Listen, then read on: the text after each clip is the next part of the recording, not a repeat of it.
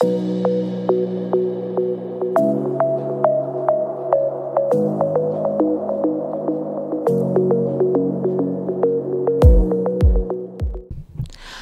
paz do Senhor, seja bem-vindo. Mais um testemunho do Crente Podcast. É uma honra e um prazer estar mais uma vez contando o que Deus fez na vida da sua serva. Mas antes, eu pergunto para você: você é inscrito no canal do Crente Podcast? Se você não é inscrito ainda, se inscreve, compartilha, ativa o sininho e também comenta o que você está achando desse lindo trabalho que nós faz aqui no Crente Podcast, esse testemunho maravilhoso que vem, vem tocado muitas vidas, vem falado muito com muitas pessoas, né? Que Deus tem aí curado, salvado, salvando almas para o reino dele, é, casamento restaurado, tudo através de lindo testemunho que é contado aqui. Amém?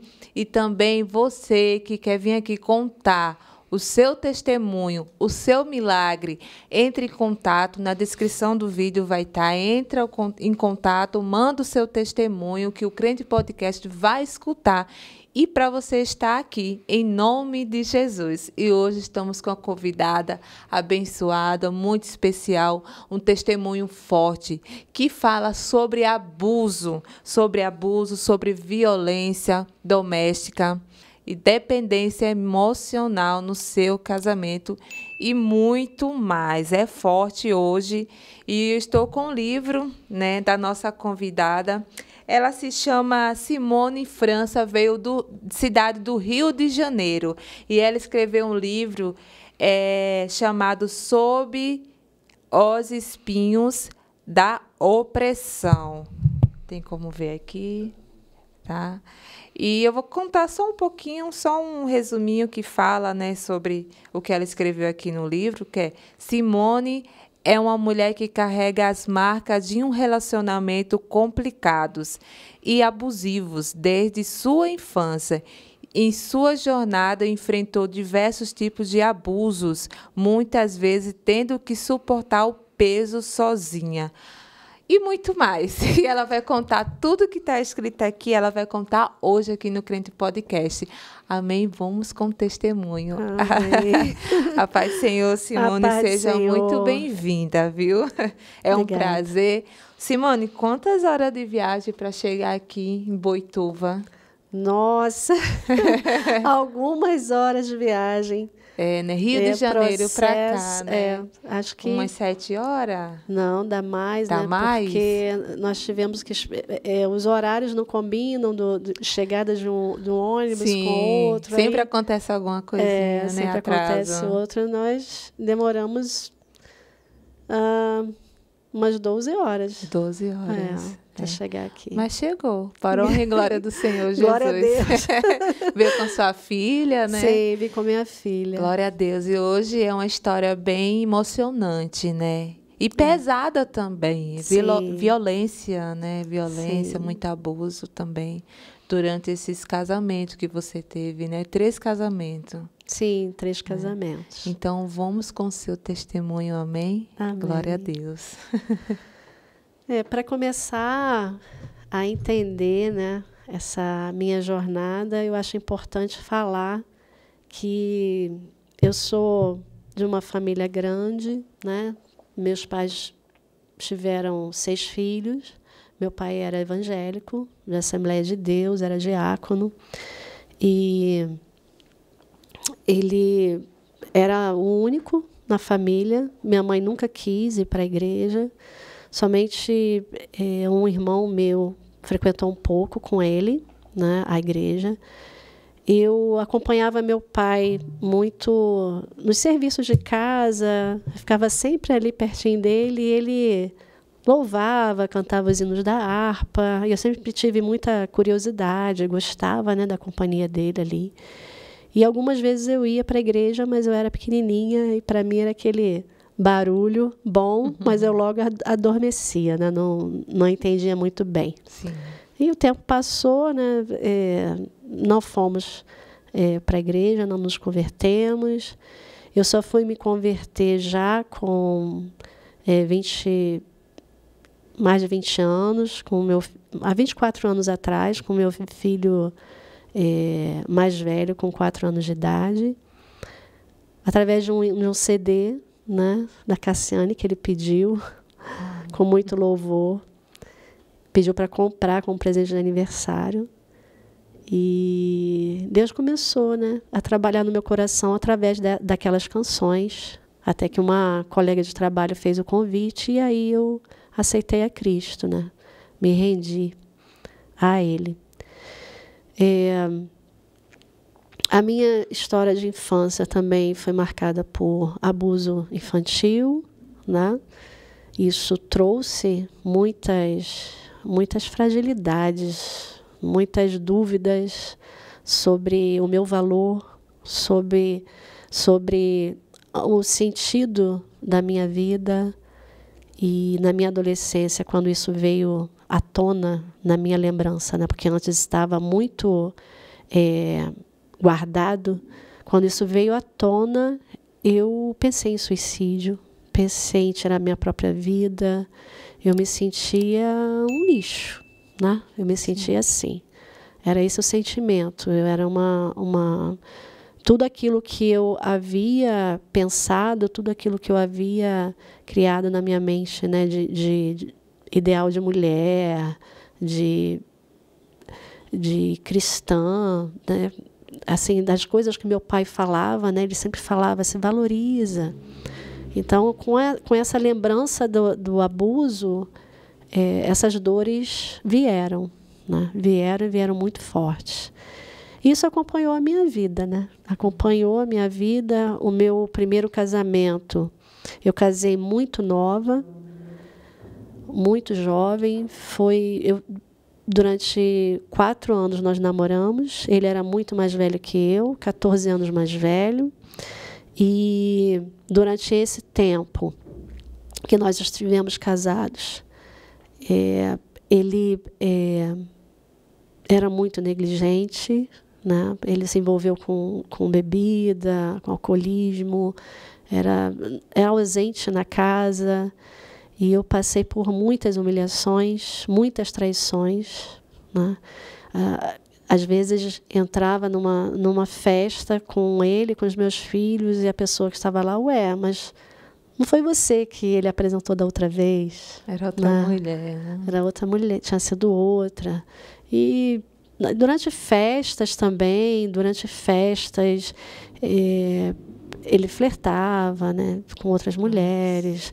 Na rua, quando passava né, alguma vizinha, eu ouvia os comentários, né, ligações, enfim.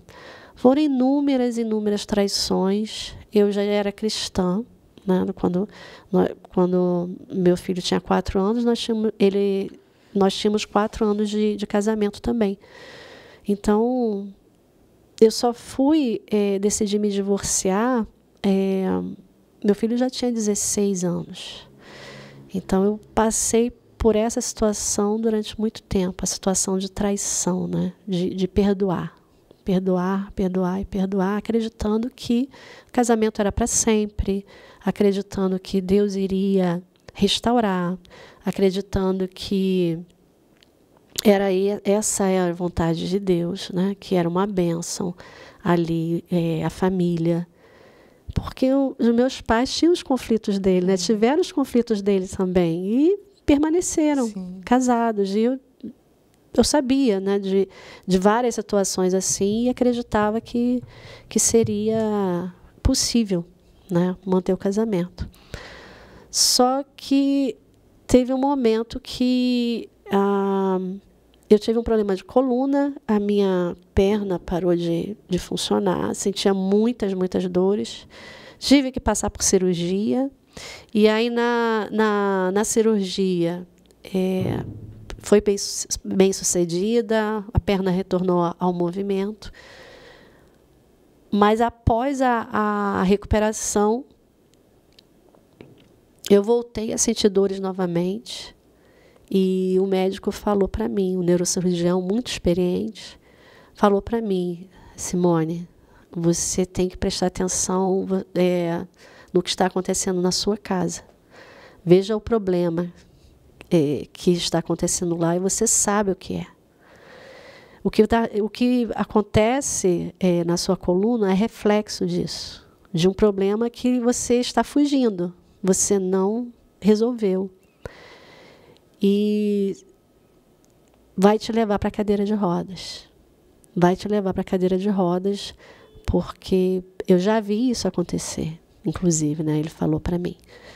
E ali eu tive que tomar uma decisão. Eu comecei, isso não foi fácil, não foi fácil. Foi... Você já tinha problema, né? Eu tinha na... problemas é, na coluna, na coluna e isso. é como eu somatizei, né? Sim. Ao, o lado da nossa saúde que é mais frágil é isso. é onde se agrava, né? A situação, Essa da, situação das emocional, agravou, emocional, emocional agravou ainda mais. Então eu tive que tomar uma decisão, né? Os meus filhos também estavam adoecendo é, emocionalmente, porque eram muita, muitas brigas, né? Por ele ele se ausentar da casa pela pela pelas pela quantidade de dias, né? Bebendo e e muitas horas é, arriscava a nossa vida porque dirigia com a família dentro do carro completamente alcoolizado. E mesmo quando eu é, tirei carteira, ele não deixava eu dirigir. E eram situações terríveis, muitas situações que nós vivemos, né? O meu filho de 15 anos, com 15 anos inclusive, ele pegou no carro para que o, estavam os dois num lugar e ele teve que pegar o carro porque ele, o pai não tinha condição, condição. nenhuma. E ele só tinha 15 anos, ele nunca havia dirigido na vida. Mas os amigos do pai falaram: é melhor você pegar o carro do que o seu pai. Então, assim, situações. que Essa que eu soube, né? E tantas outras que eu não soube, mas que é, a vida deles também corria risco, né? A minha deles. Sim. Enfim, eu lutei. Lutei muito. Pelo seu casamento. Pelo meu primeiro casamento. Lutei muito e até colocar em risco, né? Eu acho que esse é um limite que a, a gente tem que ter é... bastante claro, Sim, né? O limite. Ela, ela, tem direito de lutar pelo casamento, como o homem também tem direito de lutar, né? Como pelo cristão. Ser, como cristã também. Assim, a gente não é obrigado a, a submeter isso à, à traição, né? Sim. É a traição, adultério, então as mas assim, já tem na Bíblia, né? Que eu vou até citar o versículo que é, é Mateus 5, 27 e 28, que fala assim: Jesus ensina que até mesmo o desejo adultério é considerado pecado. Vocês ouvirão o que foi dito: não adulterais, mas eu lhe digo: qualquer que olhar para uma mulher para desejá-la já cometeu adultério com ela no seu coração, né? E assim, casamento adultério, a gente está liberto a se divorciar, né? Pelo adultério. É, já. Mas a mulher, ela, ela, ela tem a opção de querer lutar pelo seu casamento, claro, né? Deus dá a liberdade de você lutar pelo casamento. Mas vai chegar um ponto, né, que vai dar certo, né? Deus vai ali Deus opera ali, e mais vai ter hora que a pessoa mesmo não quer o, a, é, reconciliação, recoli, eita, reconcilia, reconciliação, né? É. Não vai querer lutar, ou, ou vem a parte do homem ou vem a parte da mulher. Não quer, não se ajuda, né? Não quer parar com os vícios, não quer, é, não quer deixar de adulterar. Então vai chegar um casamento ao fim, né? E é, você não, você lutou, lutou Deus, bastante. Deus dá o livre-arbítrio, né? Sim. O livre-arbítrio continua sendo realidade. Então, você tem a, a escolha. Né? É. é. Família, casamento é projeto de Deus, é plano de Deus. É direto do coração de Deus, né? A gente sabe disso. Por isso que a gente luta, por isso que a gente, né? briga por isso. Mas a gente também tem que entender qual é a vontade de Deus e se realmente aquele casamento era plano de Deus para nossa vida, né? Porque muitas vezes a gente também ainda, faz né? as escolhas erradas, né? Sim. Faz as escolhas erradas.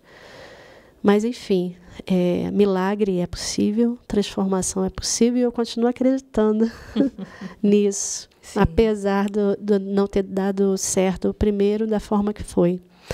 E aí é, eu me divorciei diante dessa situação toda, eu tomei a decisão da, do divórcio, mas entrei num segundo casamento muito rápido, muito rápido.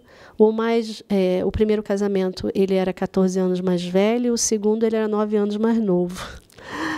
Então, de idade, é né? uma diferença de idade, né? Sempre presente. E era um homem mais simples, né? O, o primeiro era um homem mais culto, estudado, então assim, o segundo era completamente diferente. E os meus filhos também é, no início eu achei que tivesse sido, tivessem sido beneficiados por uma questão, né, que ele era um homem muito regrado, como dizem, né? Ele tinha essa questão dos hábitos, é dos segundo. horários, o primeiro né? acabou, sim, se separando, é, seja é o sim. segundo. Não, você, ima você imagina, é, o primeiro, a questão da, da da, do vício, né, do alcoolismo, sim, a desorganização, sim. falta de, de compromisso. E a educação dos filhos era muito por minha conta. Né? Eu era a, Você que tinha um controle a amada ali, história, sim. digamos assim. Né? O controle era, era meu. E ele não, era, era o paizão, aquele que deixava tudo. O, o meu segundo é, casamento, é, trouxe essa questão da organização, das regras, de ter limites, de ter horário. Né? Isso, a princípio, fez bem para os meus filhos, né? até certo ponto. E porque teve aí o limite também da, da questão da, da agressividade, né? Quando você vem com, a, com uma regra, mas vem com aquilo limite, mas vem pesado, né? Sim. né?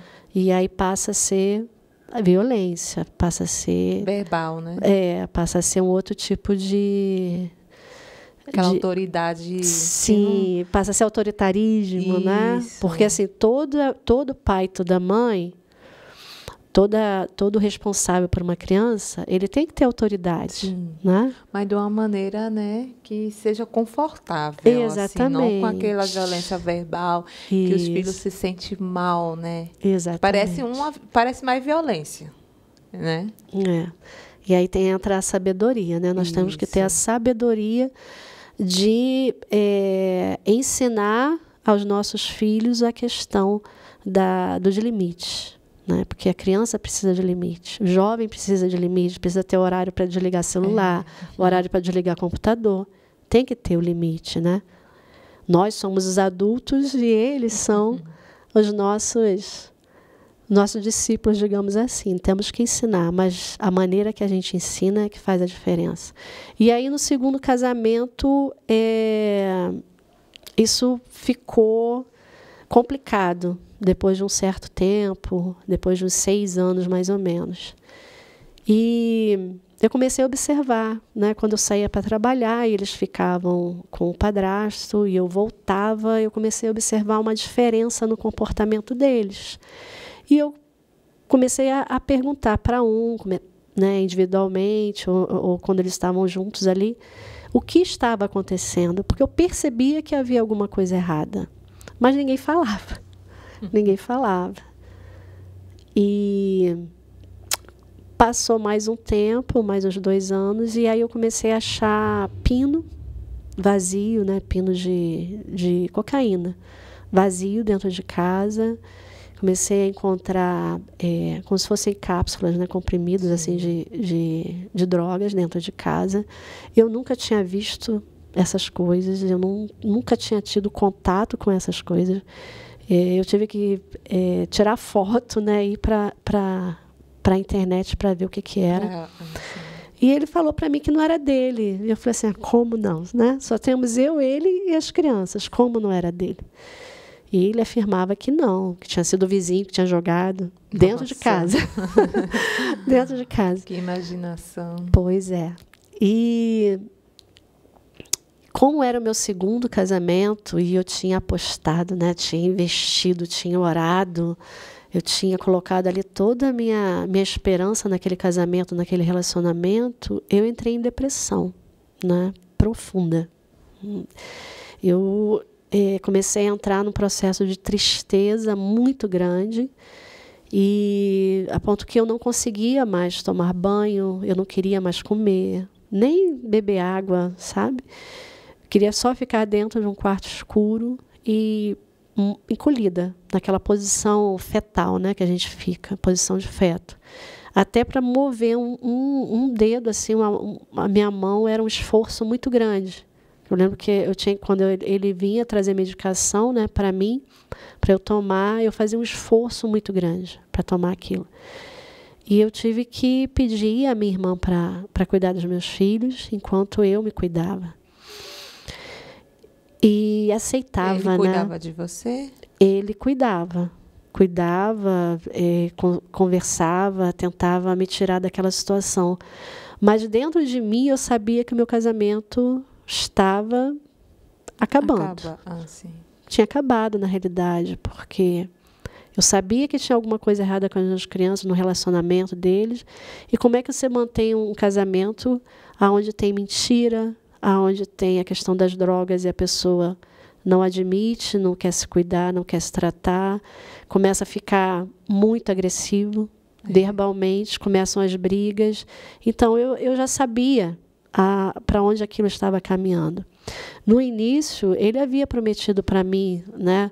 Ele era católico, eu evangélica, e ele havia prometido para mim que não iria interferir em nada, que ele continuaria com a religião dele, a fé dele. Nós tínhamos um só Deus e serviríamos, né?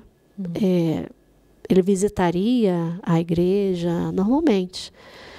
Só que é, ele simplesmente fez outras escolhas. Fez outras escolhas. E aí vem a questão do livre-arbítrio de novo. E eu não, não consegui voltar, né?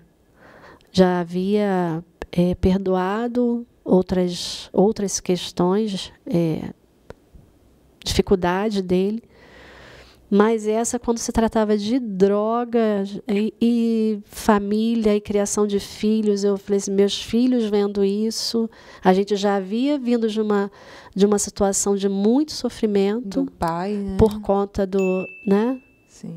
Da, do uso da, do álcool e agora o uso de, de, de drogas. Então, é, na minha cabeça já era um, um, um passo já para o fim, né? E aceitar isso foi muito difícil. Essa depressão me levou a, a esquecer meu próprio nome. Eu, assim, quando eu ia a uma clínica, chamavam Simone, eu não me reconhecia. Eu não, não me reconhecia como aquela pessoa que estavam chamando ali e me deram a estratégia de de, de é, ver a identidade, carteira de identidade Sim. e copiar o nome. Nossa, você não sabia nem escrever mais. Nem não? escrever mais. Eu esqueci como é era escrever, nem até o meu nome. Nem eu não sabia mais ler, não sabia. Meu Deus. Eu é, eu sou professora, né? E isso tirou de mim o que me trazia alegria também, que era o meu trabalho. Sim. Eu amava ensinar. E eu havia, inclusive, dedicado muito tempo da minha vida cuidando dos filhos dos outros, né? Ao invés dos meus. E, de repente, isso foi, né? É, tirado, retirado, assim, muito rápido. Eu entrei nessa, nessa, no fundo do poço e é como se a vida tivesse perdido todo sentido. Sim. Eu já ouvia frequentemente que eu era uma péssima mãe, já há muitos anos. que eu era uma, uma péssima mãe. Isso para mim era algo muito claro. E agora eu era uma péssima profissional, porque nem ler e escrever eu sabia como é que eu iria ensinar. Então, tudo perdeu sentido. Eu falei, é o fim, né? É o fim da Simone, né? Nem esposa, nem mãe, nem profissional, acabou. Acabou, né? Minha vida acabou, eu pensava. E eu me entregava cada vez mais naquela tristeza. E até que veio a, a, a palavra do Senhor. Eu consegui, em algum momento, orar. Minha, minha irmã ficou com os meus filhos para que eu pudesse me cuidar. E eu tinha sempre a Bíblia na versão Ferreira de Almeida. E eu fiz algo que eu não. Eu tinha dificuldade de aceitar a nova linguagem, né? a linguagem atualizada. Sim. E eu comprei, comprei e assim, lendo uma palavrinha ou outra dessa Bíblia e começando lá em Gênesis, eu voltei a ler. Graças a Deus. Eu reaprendi a ler com a Bíblia na nova linguagem. Foi de pouquinho em pouquinho. Pouquinho em pouquinho, com muito esforço. Eu lembro que eu, eu usava, eu tenho essa Bíblia até hoje, é, cheia de post-it, porque como eu estava reaprendendo a ler, uma coisa é você decodificar, né? Uhum. Decifrar, Sim. e a outra coisa é você interpretar, que aí de, de fato Sim. é ler. Né? Então eu, eu lia um, uma frase, um versículo e escrevia, tentando é, colocar nas minhas próprias palavras o que eu havia entendido ali. E assim eu fui desenvolvendo a leitura de novo. Foi muito sofrido, muito. E aí, como eu, com esse exercício de, de ler e escrever, né, num post-it pequenininho ali aos poucos, isso foi é, avançando e, e eu falei, Senhor, ainda como diz a, o louvor hoje, né? Naquela época não, não tinha, mas ainda tem vida aí, né? Ah, ainda tem vida aí, ainda tem algo aqui. É, forte. E eu é, fiz uma, uma tomei uma, uma decisão né, de, de terminar o casamento, o segundo juntei forças, né? Tomei essa decisão. Não foi fácil. E dois anos depois, quase dois anos depois, eu estava com, com os meus filhos em casa. E aí o, uma, o caçula, bem mais alto né, do que a, a menina, é, segurou o celular dela no alto e ela muito chateada, foi e mordeu o braço dele. Ele, numa, numa atitude de reflexo, né, acabou batendo o cotovelo no, no nariz dela. E sim, quebrou em várias partes. Ela uhum. quase sufocou com sangue. Ali foi, foi Deus mesmo que eu tive a, a me deu a, a, a, saída né, de bater na, assim, na, nas costas dela para ela projetar aquele sangue que estava sufocando ela. E aí eu socorri, fui com muito rápido, subindo a serra para poder é, salvar a vida da minha filha, enfim. Depois desse episódio, a minha filha que tinha é, características de autismo, que tinha dificuldade de relacionamento, que já tinha é, problemas na escola, que assim já anos, né, a gente vinha tentando entender o que estava acontecendo. A partir desse desse episódio, minha filha é, disse que entendeu que nós amávamos, que nós nos preocupávamos com ela, que nós verdadeiramente confiávamos nela e ela podia confiar em nós, Sim. tanto em mim quanto no, no, no irmão. E essa confiança e essa consciência que ela teve fez com que ela abrisse o coração dela num segredo que ela guardava já há muito tempo ela disse que o, o padrasto havia abusado dela. E aí esse, essa situação fez com que é, eu fosse para a delegacia, né, da parte, enfim uma série, uma série de, de decisões que foram tomando e é aquela certeza, eu realmente sou uma péssima mãe, né? Realmente sou uma péssima mãe. Como é que eu não vi? Como é que eu não percebi? Como é que eu, sendo professora, eu trabalhando na escola, lidando com crianças, como que eu não enxerguei né, essa situação? E ela falou que ela cala, eles calavam diante das agressões, é, das, dos, dos, abusos né, verbais e o assédio, porque ele ameaçava me machucar. Ó, se falar alguma coisa, ah. eu vou. É, você vai ver o que, que eu vou fazer com a sua mãe. Você falas assim, esses, né? É, esses abusadores, né? pedófilo, né? tudo isso aí. Ele sempre ameaça, né? Sim. Ameaça com a, a família, né?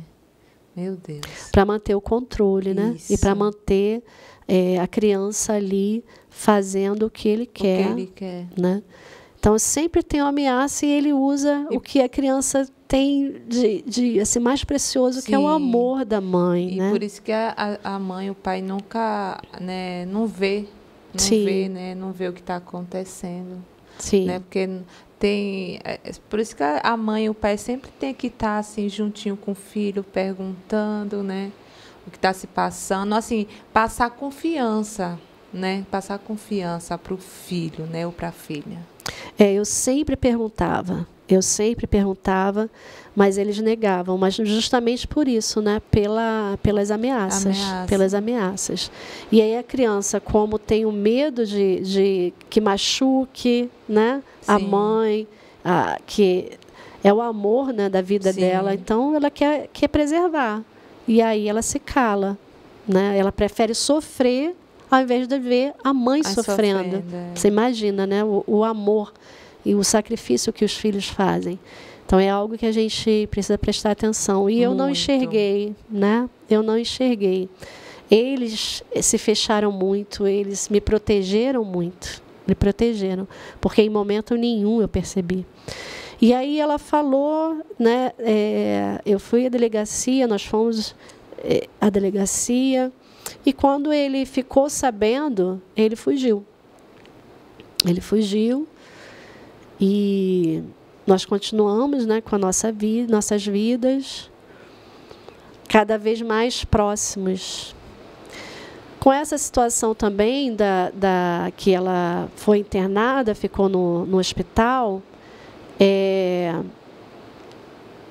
nós tivemos também, um, irmãos, um laudo dela com autismo, ah. o TEA, né? o autismo, que não, não, não, já tínhamos tentado várias vezes e não tínhamos conseguido.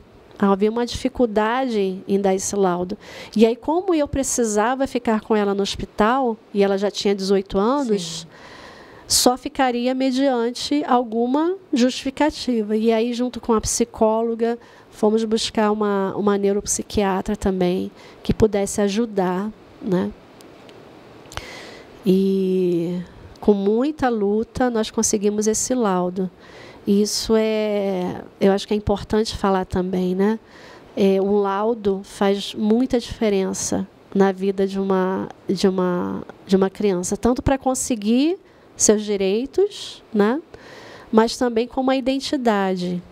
Sim. Assim, eu, eu sou, eu tenho. É, Provar que. É, né? E eu sou assim porque eu tenho essa questão né, é, de saúde Sim. na minha vida. Sim. Então a questão da identidade é importante. E isso fez com que o relacionamento né, com a minha filha também mudasse muito. Ela, como pessoa, melhorou muito, melhorou na escola. Tudo mudou a partir dessa de um simples papel, né? que o médico liberou ali. Mas trouxe muitas mudanças boas e o fato de, de agora não haver mais mentiras, de não haver mais segredos entre nós. Então, foi foi algo muito bom, né? O que parecia que seria ruim, a questão da, da revelação daquela situação toda trouxe também muitas coisas, muitas coisas boas. E o alívio, né? O alívio, o alívio e, e o perdão. E o perdão. Perdão. Eu pedi muito perdão né, aos meus filhos, muito, muito perdão. É, isso é algo que a gente também ensina, né? A questão do perdão, Sim. do pedir perdão, do liberar perdão. Sim. Então foi um processo que Deus nos colocou para aprender um pouco mais, né? Sobre o como, como é importante você perdoar em família, né? Como isso traz cura e, e reflete em todas as outras áreas da tua vida. Enfim, depois disso, é, eu entrei em um novo relacionamento depois de um tempo. Isso foi o ano passado, em agosto do ano passado. E como eu, eu disse, né, eu era uma professora e eu trabalhei sempre com pessoas com deficiência. Eu era a favor da, da inclusão. Inclusive, uma das, das frases né, e uma das dinâmicas que eu sempre fazia era quem cabe no seu todos. Quem cabe no seu todos? Quem é que sentaria com você na sua mesa de jantar? O a pessoa portadora do HIV, a pessoa assassina, o ex-presidiário, o quem, né? Aquela pessoa que tem é, todos os pecados do mundo, ela sentaria ao teu lado? Você aceitaria? Então era, eram questionamentos que eu sempre fazia e em defesa, né? Sim de que as pessoas aprendessem a aceitar como Cristo falou, né? Sem acepção de pessoas. Então, para mim, isso era muito tranquilo. E aí eu entrei num outro relacionamento, e esse relacionamento é, é, foi com uma pessoa que usava torno, ne, tornozeleira Leira. eletrônica. Isso. E essa tornozeleira eletrônica era, tinha sido por conta de, de roubo, de assalto. E eu entendi que era um homem de Deus. Ele lia a Bíblia, ele orava, ele jejuava, ele pregava, ele louvava. Eu entendi que não era um problema né, ter cometido um pecado, porque tantas outras vidas é, já tinham passado por essa situação e havia é, redirecionado né, sua rota, feito outras escolhas. Então, por que não? Né? Por que não? Sim. Eu não vi isso como, como problema. Depois de, de refletir, eu aceitei. Então, eu entrei nesse relacionamento e muito rapidamente, né? É, nós já fomos ao pastor pedir bênção, já a, eu congregava já há alguns anos na, na igreja cristã renovada. E nós fomos pedir bênção, fomos é, casar no religioso, casamos na, na, no cartório, conversa com família, tudo. E em pouquíssimo tempo ele já estava na minha casa. Então eu vivi ali um amor, né? Muito repentino. É, ele era muito interessado na minha vida, muito interessado pelas questões que eu havia passado, muito interessado por tudo que eu havia sofrido e por todos que haviam me causado sofrimento. Inclusive, ele me protegia, porque uhum. ele começou a, a excluir, pedir para excluir, essas pessoas te fizeram mal, para que, que você vai manter na tua vida? Perdoa e se afasta, esquece. Eram as palavras dele. E eu comecei a concordar. Falei assim, é, realmente, talvez eu esteja é, mantendo pessoas ao meu lado que estão me fazendo mal. Né? Me trazem lembranças ruins. E eu comecei a, afastar. No início foi só isso. Depois começaram as crises de ciúme. Essa situação de é, ir eliminando né, contatos no celular, a princípio, na minha cabeça, era uma, um sinal de amor, né? Ele estava cuidando de mim, se preocupando comigo, preservando, né, a minha a minha identidade, a minha emocional. E era essa fala dele. É tudo por amor. Tudo que eu faço é por amor. Para você era normal ainda, né? Tudo era normal ainda. Não, né? maravilhoso. É maravilhoso, né? Lua de mel, tudo, é, comecinho tudo casamento. maravilhoso, maravilhoso. Nossa, eu estava sendo cuidada, respeitada, amada, né? Qual mulher que não sonha com isso? Então, tudo maravilhoso. Amava meus filhos, amava minha família. Então, é, parecia que ia bem. Né? Só que um dia na, na igreja, eu, nós estávamos a, a um, num culto, e aí Deus me mostrou um demônio muito grande, uns três metros de altura, que abraçava, como se ele, ele estivesse é, no meio do corpo desse demônio, dentro dele. Sim. E eu olhei para o altar, tive a visão eu olhei, para o meu lado e ele estava ali, normal. E eu fiquei tentando entender, né? Fui para casa, é, depois orei, dobrei os joelhos, falei com o Senhor e ele me falou, né, em, na palavra, né, em Gálatas, a questão de se você é, for retirado de, de uma, uma servidão, né? Por que, que se coloca de novo nesse jugo? E eu entendi né, que aquilo ali não ia, não iria muito bem. Só que eu já estava casada. Né? O, o pastor já havia dado sua bênção, eu já, eu já tinha falado diante da congregação, eu já havia casado né, diante da igreja, Sim. eu já havia casado no cartório, ele estava morando dentro da minha casa com os meus filhos. E os problemas começaram, né? Por conta desses ciúmes, né? Eu percebi que ele estava ficando cada vez mais alterado. Só que no início eu acordava e eu sentia, assim, em, alguns dias eu sentia muita dor na cabeça, dores na cabeça, e eu não entendia por que aquilo estava acontecendo. E quando eu toma, passei a observar quando eu tomava banho e ia lavar o cabelo, eu passava a mão, eu sentia uns calombos na minha cabeça.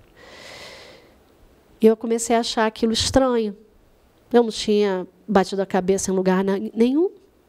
E aí, certa, certa noite, eu, eu não havia adormecido ainda, eu percebi um movimento atrás de mim. Quando eu olhei, ele estava de joelhos na cama, é, na posição de soco e com uma almofada na frente. Misericórdia, Jesus. Depois, né, eu descobri que era uma das estratégias que ele usava, que ele usou isso depois contra o meu corpo, de colocar uma almofada na frente para dar o soco e não ficar o hematoma.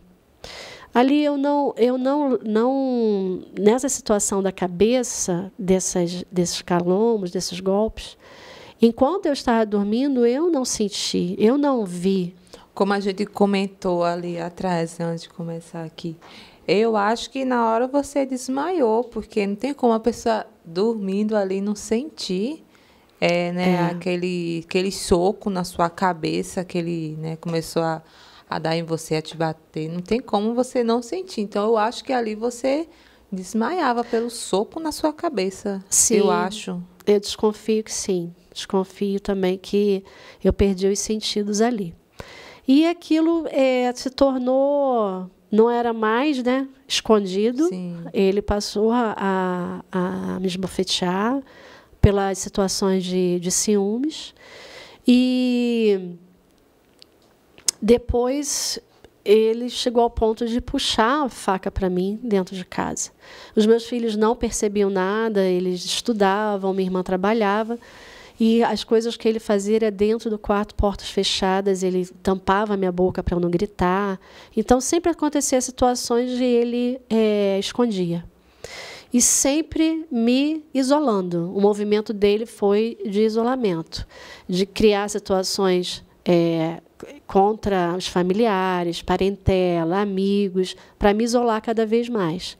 Quando ele puxou a faca né, para mim, eu falei: não, agora está demais. Eu temi pela, pela vida dos meus filhos e pelas situações que ele falava e decidi é, sair dali.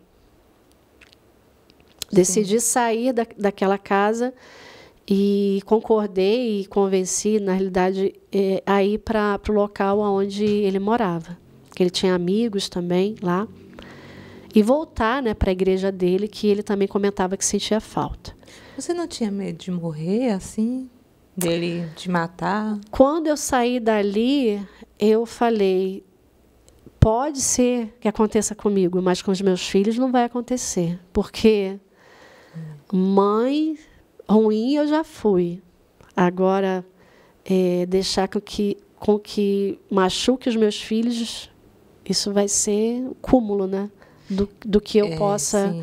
Fazer. Então, eu saí na tentativa de proteger meus filhos, meus sim. filhos. Eu não pensei muito na minha vida. Mas você pensou em sair do casamento, se separar dele? Eu não via saída porque ele era um homem extremamente ardiloso, ele era aquele tipo de homem é, que não dava espaço para respirar. Ele manipulava. Ele manipulava. Uma hora estava bem, pedia perdão, tudo, e depois continuava a violência. Assim. Sim, é aquele, aquele famoso ciclo da violência, né? Que vem a, a lua de mel, aí vem o, o início da tensão, aí depois vem a agressão, e vem o pedido de perdão, vem aí, começa tudo de novo. Lua de mel, tensão, Sim. agressão, perdão e assim continua. E quando ele pedia perdão, era diante de Deus, se ajoelhava, orava, chorava. Então era muito convincente. Eu acreditava, eu acreditava e, e, ia de novo naquele ciclo. Então eu não, não pensava que naquele momento ele, iria acontecer realmente é, alguma coisa ruim. Eu orava para que aquele demônio que eu tinha visto saísse.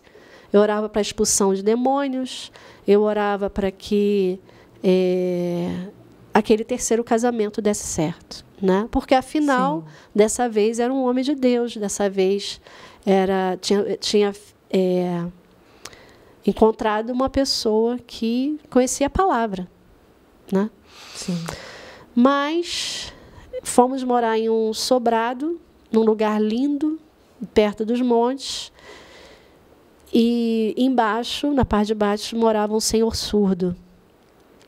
Eu estava isolada, os meus filhos não é, entenderam a minha atitude, eles achavam que eu não os amava mais, né? Eles não entendiam na realidade por quê e como que a mãe deles a, a, estava se submetendo àquela situação, principalmente a minha filha, porque ela me via como uma mulher independente financeiramente, uma mulher, né, é, sempre é, diante das situações para serem resolvidas, não costumava muito é, pedir essa ajuda para resolver problemas, né?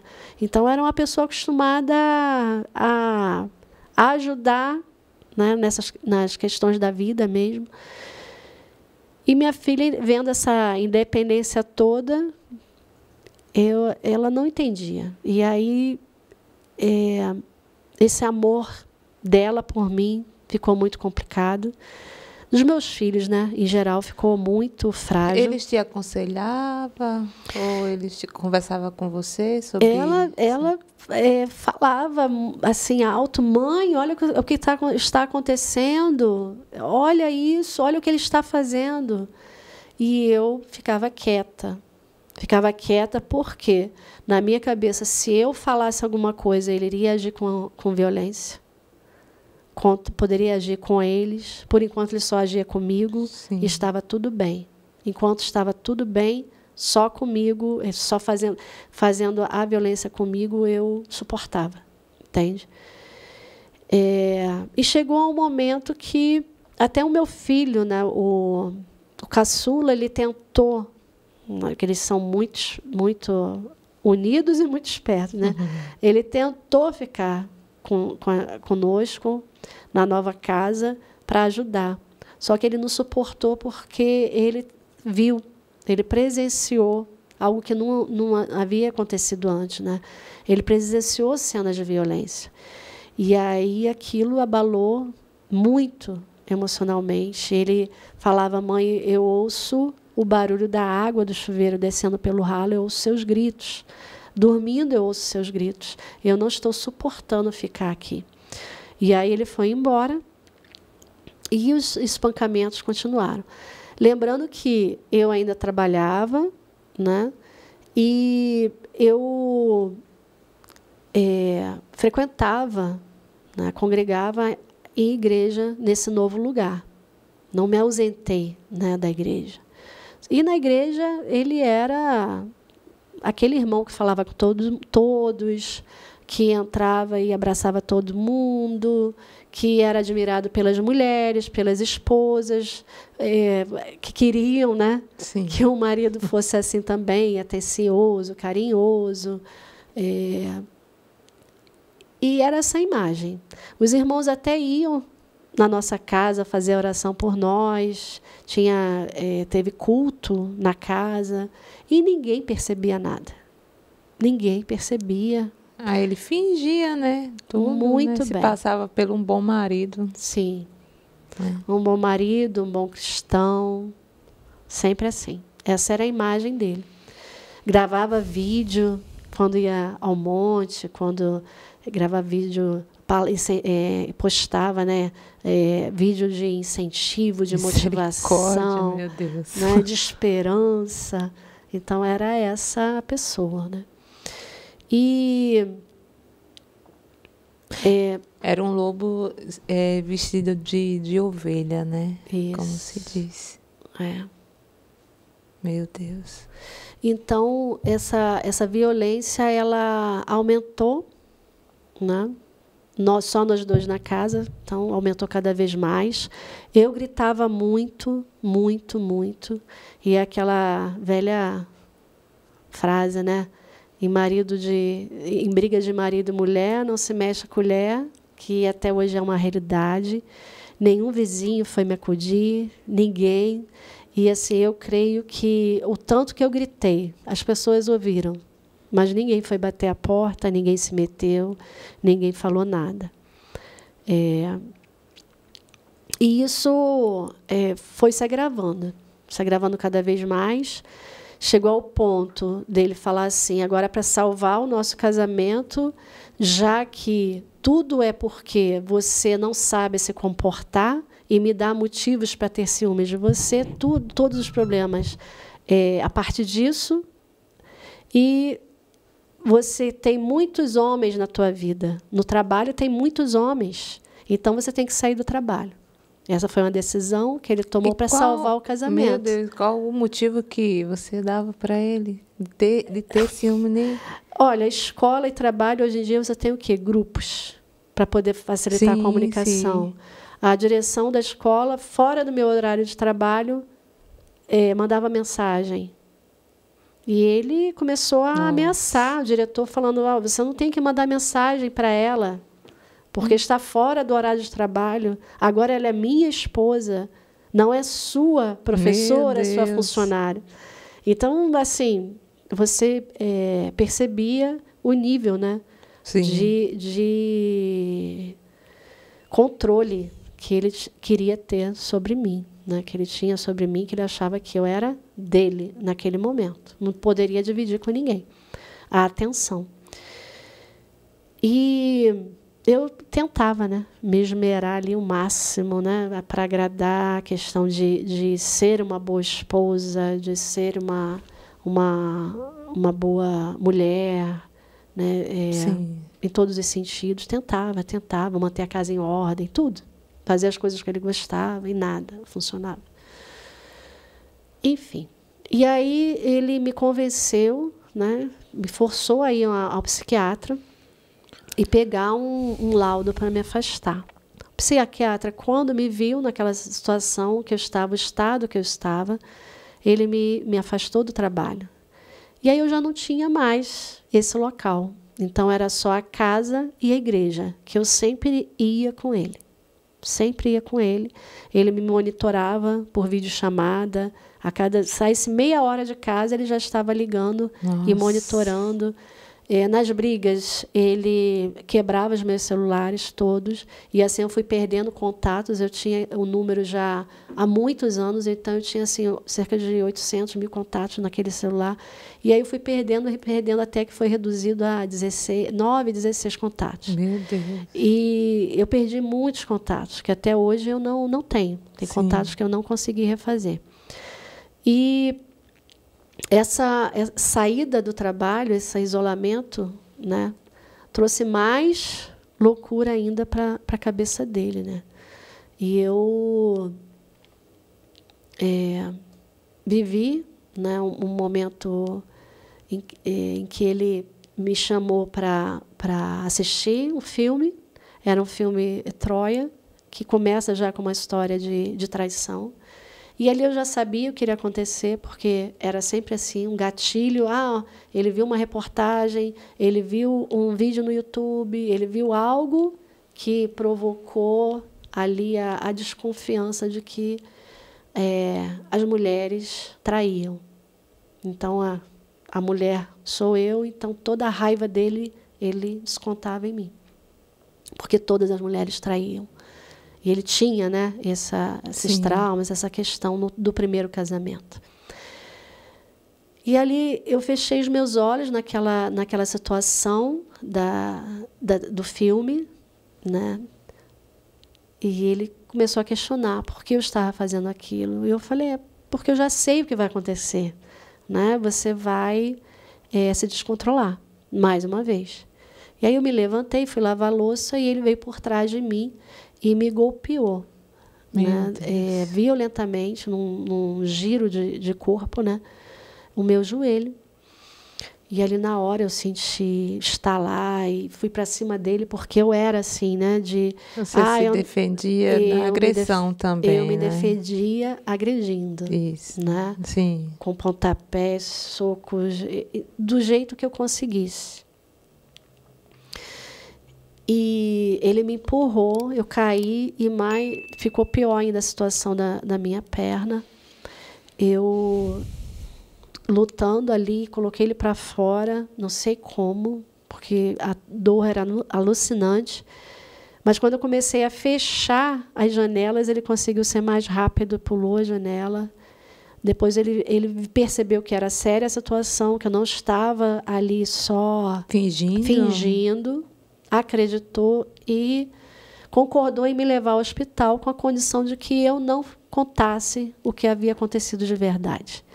Afinal, eu havia só escorregado. Né? Escorre... Sim, você escorregou, sim. tá? Você escorregou e foi só isso.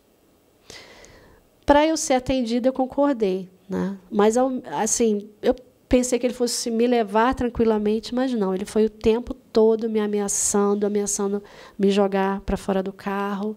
É, na realidade, ele estava com medo que eu falasse para os médicos, então ele usou de tortura para eu calar a boca, né? Essa, é, isso eu entendo hoje, né? E fomos subindo a serra, já era nove horas da noite, nessa situação de ameaça, de tensão o tempo todo, de tortura. Quando chegou lá, é, não tinha ortopedista e a médica que atendeu só fez um raio-x e mandou imobilizar porque eu estava com muita dor. Nisso, é, a enfermeira atendeu né, muito bem e me mandaram para casa com a recomendação que eu retornasse no dia seguinte, porque no dia seguinte haveria lá o, o ortopedista. O ortopedista realmente no dia seguinte me atendeu, mandou retirar a imobilização para ver como estava, mas falou assim: "Poxa, não tem fratura, isso aí é uma é uma uma lesão de quatro em quatro dias vai recuperar porque é uma lesão de própria altura, um tombo, isso é uma luxação, tá uhum. tudo certo." E aí me mandou para a enfermaria para imobilizar de novo, acertou a minha medicação e me recomendou um especialista em joelho, só para acompanhar. Nisso, quem me atendeu dessa vez foi um enfermeiro, um homem. Ele estava, meu, meu, meu marido, ao meu lado assistindo tudo, porque eu não poderia jamais ficar com o médico sozinha. Sim. Nunca. Ai, Enfermeiro, Deus. nem pensar. Sempre acompanhada. E aí o enfermeiro foi muito humano, né? imobilizou e percebeu que eu não estava bem falou, querida, se você quiser, você pode continuar por mais um tempo aí na maca, não tem problema. Bem, na saída dali foi o suficiente para mais uma crise de espancamento. Eu cheguei em casa, ele rasgou minha roupa toda, mesmo eu estando imobilizada e com muita dor, é, machucada ali, ele rasgou até minha roupa íntima e me, e me bateu. Naquele, naquele dia eu não consegui né, reagir, não consegui ter nenhuma. É, me defender, né, agredir, enfim. Sim. E eu passei a não mais orar para expulsar demônios da vida dele. Não, falei Você agora, orava assim, né? porque eu orava assim, porque eu tinha visto, né, o demônio. Sim, sim. Então, na nossa cabeça, né, de todo cristão, se há demônios, Quer vamos expulsar, né? clamar Isso. para que esse demônio seja expulso. E não mais, eu passei a não mais fazer isso. Eu decidi orar pela minha vida, decidi orar para que o Espírito Santo me enchesse, porque eu falei, Senhor, eu não sou agressiva. O agressivo é ele, o agressor é ele, eu não sou. Eu sou uma mulher tranquila, eu sou uma mulher calma, eu sou uma mulher que gosta de resolver as coisas com diálogo. E jamais eu iria concordar com situação de, de agressão. Isso não faz parte da minha vida. E ele havia me proibido de ler a Bíblia, de ouvir pregações, de ouvir louvores, de orar. E teve um momento que ele me proibiu falar o nome de Jesus. Né? E o dia que eu ousei falar Jesus, porque no dia que mesmo que ele proibiu, eu falei Jesus. E aí ele me esbofeteou muito, muito. Então eu vivi esse abuso espiritual também, né? E dele usar a palavra de Deus contra mim, dele dizer que com, com os versículos que ele estava, eh, Deus estava usando para me corrigir Meu Deus. que ele era um mente perversa. agente de Deus na minha vida Ah, meu Deus. e que eu deveria agradecer por isso, né? Porque a, a mulher deveria ser submissa ao esposo é, e que toda todo todo amor, né? O amor que que Paulo descreve é o amor que tudo suporta. Ah, Mas não na violência, né? Então ele usava várias citações bíblicas, né? E para me manter calada, é, sub- submetida né, àquela Sim. situação. E eu mudei, né? Nesse dia eu mudei a, a, a minha oração, comecei a, a jejuar mesmo quando ele não, não queria que eu fizesse, mesmo ele falando que estava errado. E o Espírito Santo, ele começou a me mostrar né, que estava presente naquele lugar, mesmo com toda aquela situação, com toda aquela gritaria, com toda aquela confusão que acontecia naquela casa, muitas coisas quebradas também, perdi muitas coisas, muitos objetos, muitas histórias, muitas lembranças, tudo foi embora com essa com essa violência e a paz que excede todo entendimento. Essa paz começou a, é, a ser. Não é que não, não tivesse, mas passou a ser diferente. Era, é, não ia embora. Não, a palavra dele não me atingia. Ah, o que ele dizia, o que ele pensava, o que ele fazia com o meu corpo não fazia mais diferença. Porque o que estava em mim era muito mais forte, Glória a Deus. entende? Sim. Era muito mais forte. E isso é que é, fez toda a diferença. né? Essa, quando eu, eu entreguei realmente a minha vida ali na, ao Senhor. Porque o que eu percebo é que antes eu era uma mulher assim, eu entregava, colocava no altar, mas sabe quando você percebe que não, não, tá, não está resolvendo e você começa a tentar fazer do seu jeito? Então você sim, pega de sim. volta. Não é? Você pega de volta. Então, de verdade você entregou? Não. De verdade você confiou no Senhor? Não. Porque se você realmente confia e você entrega, essa paz toma conta de você e você descansa. Não tem ansiedade. Não tem depressão. Você entregou. Sim. Tá, está nas mãos dele. Então descansa. Né? Aquietai-vos no Senhor, no seu Deus. Sim. Não é o que diz a palavra? Amém. Então eu, eu é, passei a fazer isso. Fiz essa escolha e descansei. Só que essa essa paz para o meu corpo teve um preço, né? É, mas a minha mente, o meu espírito é, passou por uma transformação sem igual. Na antepenúltima vez que eu apanhei, eu só gritei. Gritei muito, mas minhas mãos e os meus braços não reagiram. Mas eu gritei, gritei com toda a minha força, com toda a minha alma ali. Na penúltima vez eu só chorei, que isso era uma reclamação dele, porque as lágrimas não desciam no meu rosto. E nesse dia eu chorei e chorei muito é, de ensopar né, uma blusa que eu estava usando. Só chorei. E na última vez, eu fechei meus olhos e fiquei parada. E ele me bateu com o chinelo, né? me dava chineladas no rosto, nos braços, nas costas, uma sequência. E eu estava ali em oração, em oração o tempo todo pela minha vida, dizendo: Espírito Santo, não sou eu, enche-me, enche-me. Fica aqui, em mim, dentro de mim. E com aquela situação, ele ficou enfurecido mais ainda, porque eu não tinha reação.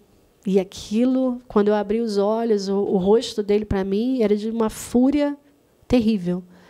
E ele pegou o celular, né, para um, uma última ação, ele pegou o celular e bateu com toda a força no, no meu braço. Nossa. Na hora inchou, né?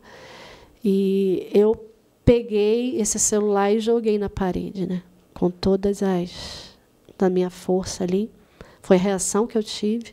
Inclusive, eu, eu até hoje tenho né, algumas marcas Sim. escuras no meu corpo por conta disso. Porque vai ficando, né? Você vai fazendo uma, é, um hematoma em cima do outro e a pele não, não aguenta. E aí, quando eu, eu joguei o celular, Logo depois, eu segurei as mãos dele e pedi, pedi para que ele sentasse. E ali eu tenho certeza que não fui eu.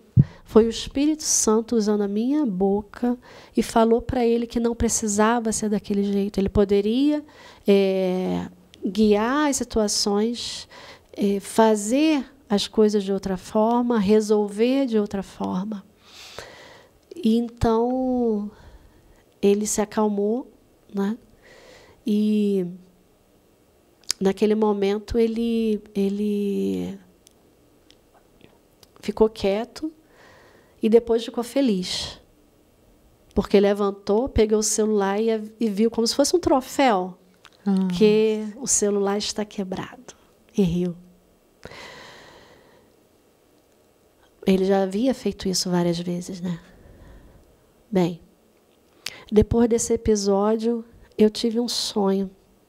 Eu tive um sonho e apareceu, apareceu uma, uma página de calendário com o número 11 e uma outra página do outro lado com um calendário com o número 14.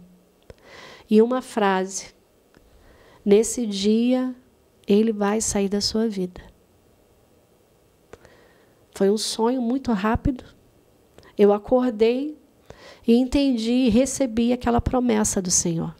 Foi tipo de uma visão, né? Assim, um sonho, né? É, um sonho. Eu estava dormindo, numa, na, de manhã já, assim, amanhecendo o dia, aquele sonho, aquela, aquela visão, assim, muito, muito rápida, Sim. sabe? E a voz.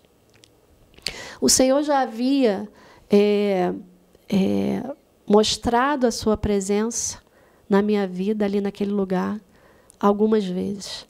É, uma, uma luz entrando no, no quarto, muito forte, na madrugada. Quando ele me é, usou um, um, um servo para falar comigo em outra igreja, pessoas que eu nem conhecia, nem sabia nada da minha vida, para falar. Ele estava cuidando do, dos meus filhos, da minha família, que tinha sido o meu pedido né, lá atrás e confirmando que ele estava no controle da situação. Ele já havia falado comigo várias vezes. Essa foi mais uma. E assim, eu acreditei na promessa dele. E então, na, na, na semana seguinte, os dias depois, ele começou a, a. O marido ali começou a falar: Poxa, vamos reunir os filhos, vai vir feriado, vamos reunir os filhos. Família sempre foi meu sonho, vamos acertar. Nosso casamento tem jeito, que essa família é linda. É um presente de Deus para mim. Eu não quero errar mais. Eu estou arrependido. Vamos reunir, vamos reunir. Eu falei, Amém, vamos reunir. Né? Vamos reunir. E então, é, ele combinou tudo, porque os dois chips já estavam no celular só, eu já não tinha mais celular nenhum. Ele fazia a comunicação toda. E, e quando eu, ele combinou tudo e eu olhei no calendário o domingo de carnaval, que os meus filhos iriam para lá, eu olhei, era 11, 11 de fevereiro. E ali o meu coração disparou. Eu falei: Senhor, é isso mesmo que eu estou entendendo? E fiquei observando. Eu falei: Senhor, só me conduz o que o Senhor quer que eu faça. E mais uma vez descansei. Não fiquei ansiosa, não fiquei preocupada, não, nada. E aí partiu do, do, do meu marido ali na época de é, fazer uma promessa para mim de que naqueles dias em que os meus filhos estivessem lá, ele não iria é, usar a cocaína. Porque ele também era usuário, ele eu já havia ah, é, descoberto isso, que ele era usuário. E que ele não iria sair para trabalhar também. Queria se dedicar totalmente ali à família. Seria aquele momento, aqueles dias de família. Eu falei, ok, tudo bem, promessa feita. Aí passou o 11, passou o 12, né, dia 12. No, no, no dia 12, à tarde, ele saiu. E quando ele voltou, ele já tinha usado. E dormiu. Eu fiquei com os meus filhos na sala, percebi que aquele amor que eu pensava. Nem tinha mais, né? Que nem tinha mais. Deus já tinha trabalhado, Deus estava agindo e eu nem desconfiava do que Deus já havia feito ali nos bastidores, né? Da nossa história. E quando no dia seguinte, quando ele foi uma noite difícil quando ele despertou, né? À noite foi bem difícil, muita muita falava muito, né? Muito, sem parar. E de manhã eu perguntei a ele. Eu falei: "Você saiu?" Aí ele falou: "Sim, saí." E eu quebrei a promessa que eu fiz a você. Eu usei. Eu falei: "Quantos pinos você usou?" Ele falou: "Usei quatro." Usei quatro. É, me perdoa. Aí eu falei: "Mas você comprou como se você não foi trabalhar, né?"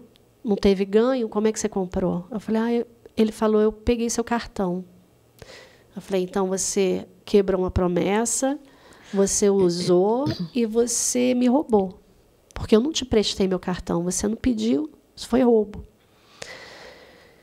E ali o Espírito Santo, ele foi me dando estratégias, palavras, foi realmente conduzindo tudo. Eu sentei na cama, peguei as muletas, coloquei ele no meu lado e falei para ele: hoje eu saio dessa casa. E ali foi ali aquela aquela fala é, foi muito rápido. Ele começou a puxar meus cabelos, me estrangular. Foi violência no quarto fechado, muito rápido. Um, uns, é, meus filhos estavam no quarto ao lado e o outro mais velho na sala. E ali lutando com ele, eu consegui com a perna que estava boa bater na maçaneta. Na porta se abriu Sim. e o meu filho caçula estava acordando, meio sonolento, sem entender o que estava acontecendo. Quando ele viu, ele parou imediatamente e começou só a conversar comigo. E eu pedi o celular, tirei meu chip, apaguei tudo que era meu que estava no celular.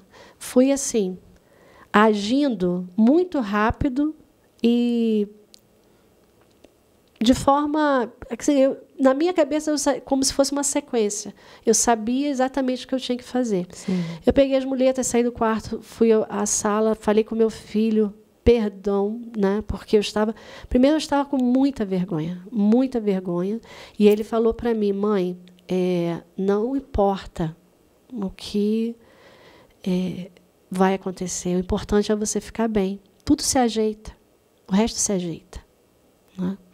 Me abraçou e ali eu falei para ele: esconde tudo que tem ponta, tudo que possa ser usado como arma, tudo que está na cozinha, esconde, tira da vista.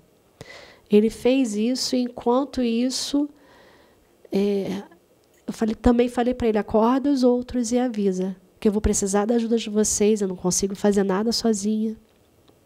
Estou machucada, com muita dor, eu não consigo. E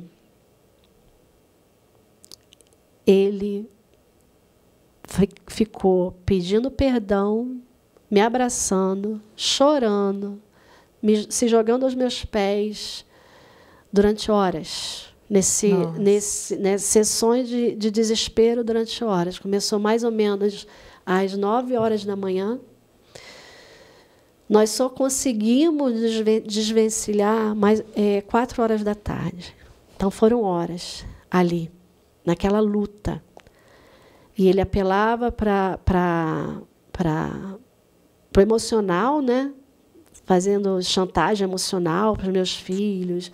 O que, e, e também é, o que a igreja vai dizer, o que os irmãos vão falar, olha a vergonha que vai ser, olha o escândalo, terceiro casamento não é? Que mãe é essa? Sim, sim.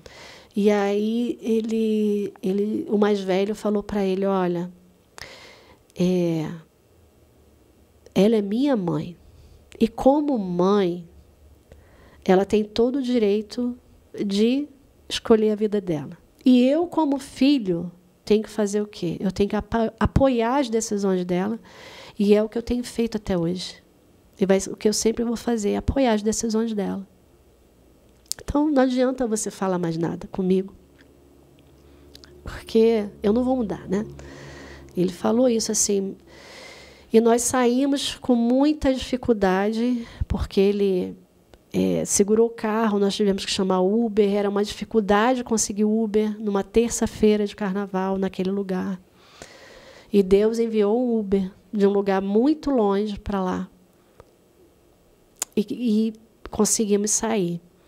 Mas antes de sair, eu lembro que eu olhei é, lá para casa e tinha os dois quadros né, que, eu, que sempre me acompanharam. Estava escrito Deus é bom o tempo todo.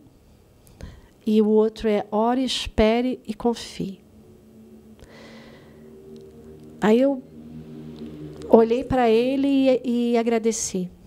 Agradeci falei para ele que obriga, é, obrigada pelas lições, porque eu jamais teria aprendido o que eu aprendi com você e eu jamais teria conhecido um ser humano, não teria sabido a capacidade que o ser humano tem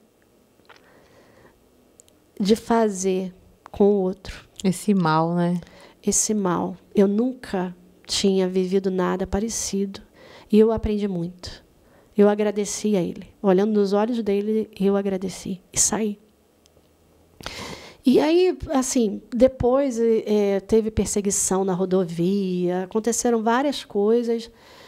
E o Senhor foi à frente de tudo. Ele não tinha dinheiro porque ele não tinha trabalhado. O governo tinha colocado um, o governo não, a concessionária lá de pedágio, né? É, havia colocado na, na um recém-pedágio na, na rodovia e aí ele não conseguiu passar ah, porque ele não, não tinha o dinheiro.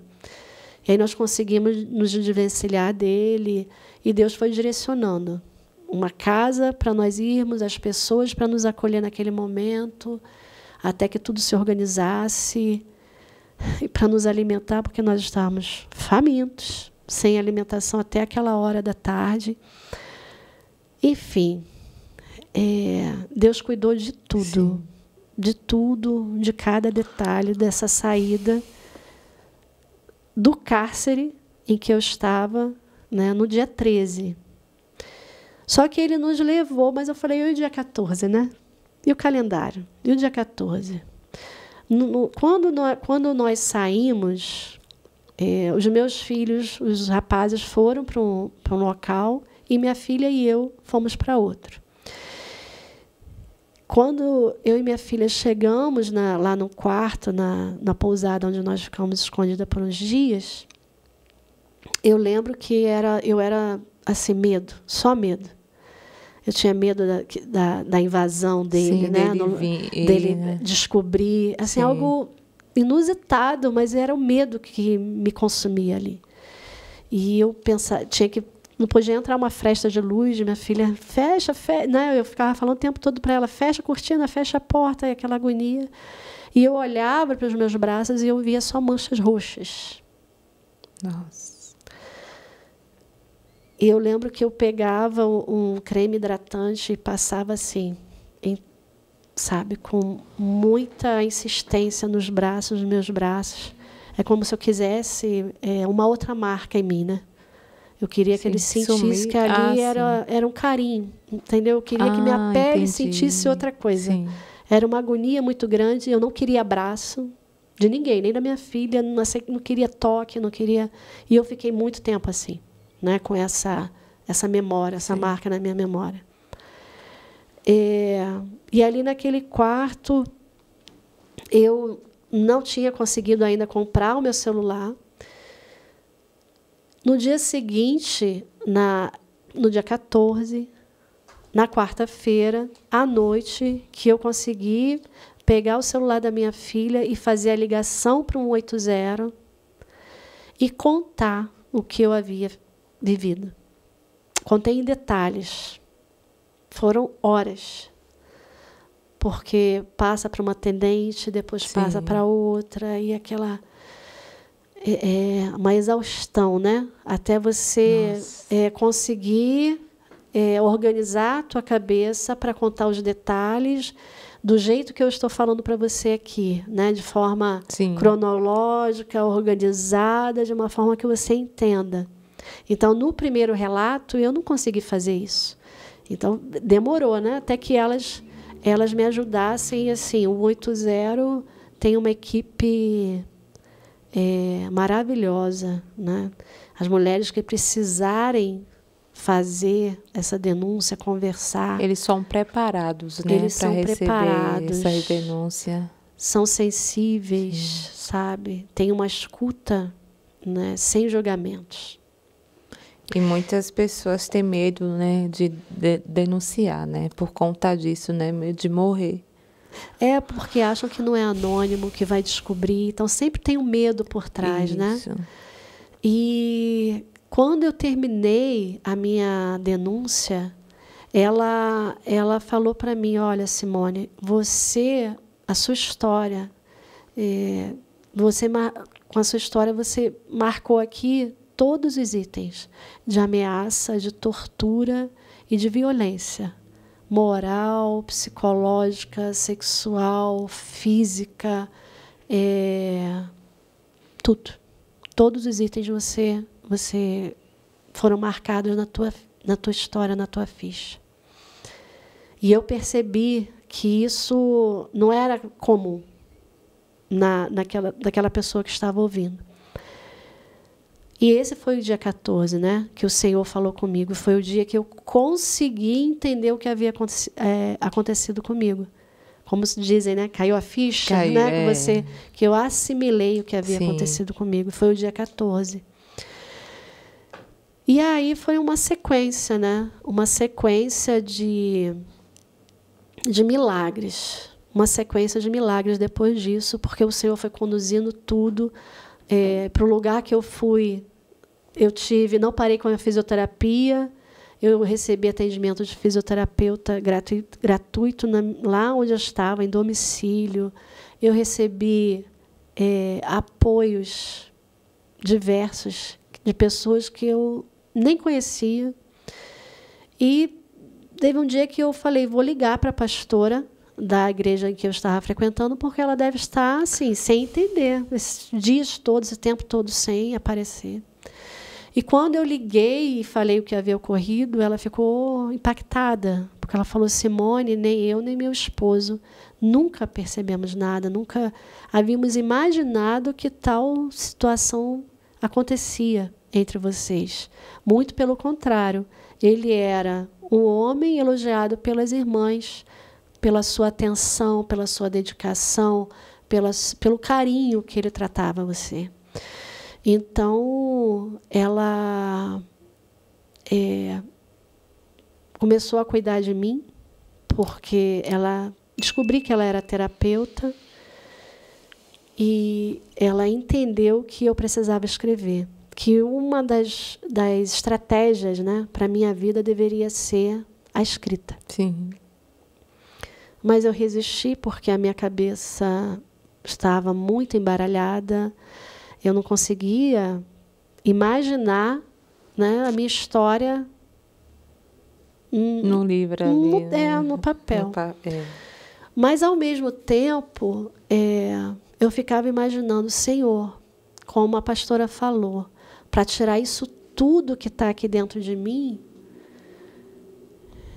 é, a palavra só não vai adiantar. E eu quero que tudo isso saia que seja lá no papel, mas que saia. Sim. E aí ela, ela me apresentou uma amiga dela que havia passado assim de surpresa na casa dela. Ela morando aqui no Rio de Janeiro, a amiga em Foz do Iguaçu, e a amiga era editora. E aí a, a, ela se interessou pela minha história, porque a editora é, primazia. Ela se interessa por, histórias que, que são, sejam edificantes, que vão realmente influenciar o reino, né? E aí surgiu, né? Sob os espinhos da, da, opressão, da opressão, silêncios e gritos de uma mulher cristã. Surgiu esse livro, fruto de terapia, né? escrita terapêutica, mas também um livro que Deus tem usado né, para alcançar vidas, alcançar ministérios, alcançar lideranças. Na, no entendimento do que seja a violência doméstica, abuso, é, relacionamento abusivo. Isso. Então é um, é um livro muito especial, né? E você aí fala silêncios e gritos o que você o que quer dizer assim silêncios e gritos? No mesmo tempo é não é silêncio no mesmo tempo é gritos. Sim. É, é silêncio né? Porque eu fui silenciada né? Eu fui silenciada durante muito tempo. E gritos não só daqueles gritos que eu dava lá mas é daquilo que está no meu coração que não pode mais calar. Esse silêncio, né, Sim. que eu mantive durante tanto tempo, ele não pode mais ficar aqui, em silêncio, né? né? Não pode guardado, ficar mais é. guardado. Esse eu preciso colocar para fora, né? Deus colocou assim no meu no meu coração a necessidade de falar, né? Eu até comentei que eu era uma pessoa avessa a redes sociais, Facebook, Instagram, WhatsApp muito mal, né? Sim. Eu tinha esse tipo de, de exposição. Eu não gostava de, de falar da minha vida, de falar dos meus sentimentos.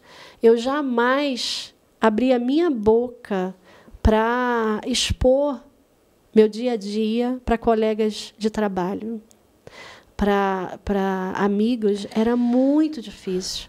E hoje eu tá tenho a minha livro. vida inteira aqui, literalmente, né? Em livro aberto. É, deixa eu fazer uma pergunta para você. Você tinha medo, assim, durante as violências, né, do seu esposo, ex, né? É, você tinha medo de a, das pessoas da igreja descobrir? Você tinha vergonha? Olha, são é, três sentimentos muito fortes que acompanham a mulher que passa por, por violência e não foi diferente comigo. Medo, culpa e vergonha. Por isso que você fala cristã, né? Uma mulher cristã. Cristã. Cristã. Porque é diferente você enfrentar relacionamento abusivo e violência doméstica sem Cristo. É muito diferente. Você pode estar em uma, numa, um, é, numa situação de, de, de abuso, de violência, mas quando você tem a presença do Senhor na tua vida, você não pode é, perder a visão espiritual. E aí, o que é interessante também, né? É você entender quem você é. Quando você começa a perceber a sua identidade, né? por isso cristão, quando você percebe a sua identidade, quem é você? Você é filha do Deus isso. vivo. Né? Tantas palavras eu ouvi, tantas palavras eu ouvi de ser indigna, de ser impura, de não ser merecedora, de ser é, de pouco valor. Tantas coisas eu fui xingada. E naquela aquele trauma da infância, né, que eu tinha da questão da, da do abuso, do abuso e tudo aquilo que eu tinha passado até aquele momento, o que tinha ficado em mim, que eu não tinha valor. No fundo, ainda existia isso. Eu nem sabia que existia. Isso não era consciente, entende? Sim. Isso não era consciente. Eu não tinha uma consciência clara na minha cabeça, no meu dia a dia, de que eu não tinha valor. Dentro de mim, eu não me considerava uma mulher valorosa, de verdade. E o abusador, o manipulador, ele aproveita isso. Sim. Ele entende isso. Né? Como dizem, você se torna uma presa fácil, porque essa tua identidade não está firme. E principalmente quando é cristã, porque sim, né, sim. aproveita disso, que para as pessoas não saber, porque você é cristão, porque é. você não pode, você tem que ser santa, né, Isso. ali, guardar você... ali os, os segredos, não não contar, não não pedir ajuda, né? Eu, assim, sendo cristão ou não, você deve pedir ajuda. Sempre deve né? pedir você ajuda. vai esperar o quê? O pior acontecer. Sim. Com, com muitas pessoas que já aconteceu, cristã, mulher cristã, né? Foi morta por se calar, né? Não, não pedir ajuda. Ou cristã ou não, né? Você deve pedir ajuda, não esperar pelo pior acontecer. É, e isso é, é assim, é importante também falar que essa identidade, esse autoconhecimento, a tua, o teu valor como mulher cristã, ele tem que estar muito claro e fortalecido dentro de você. E aí é para os jovens, é para as meninas, é para o Ministério de Mulheres, né? para as lideranças, de como é importante você trabalhar isso com as mulheres porque é, a violência né, contra a infância ela deixa marcas, como já, a gente já conversou aqui. E às vezes isso está tão guardado que a pessoa não entende que atitudes que ela toma agora é reflexo do que ela viveu. E a mulher fica fragilizada, fica fragilizada.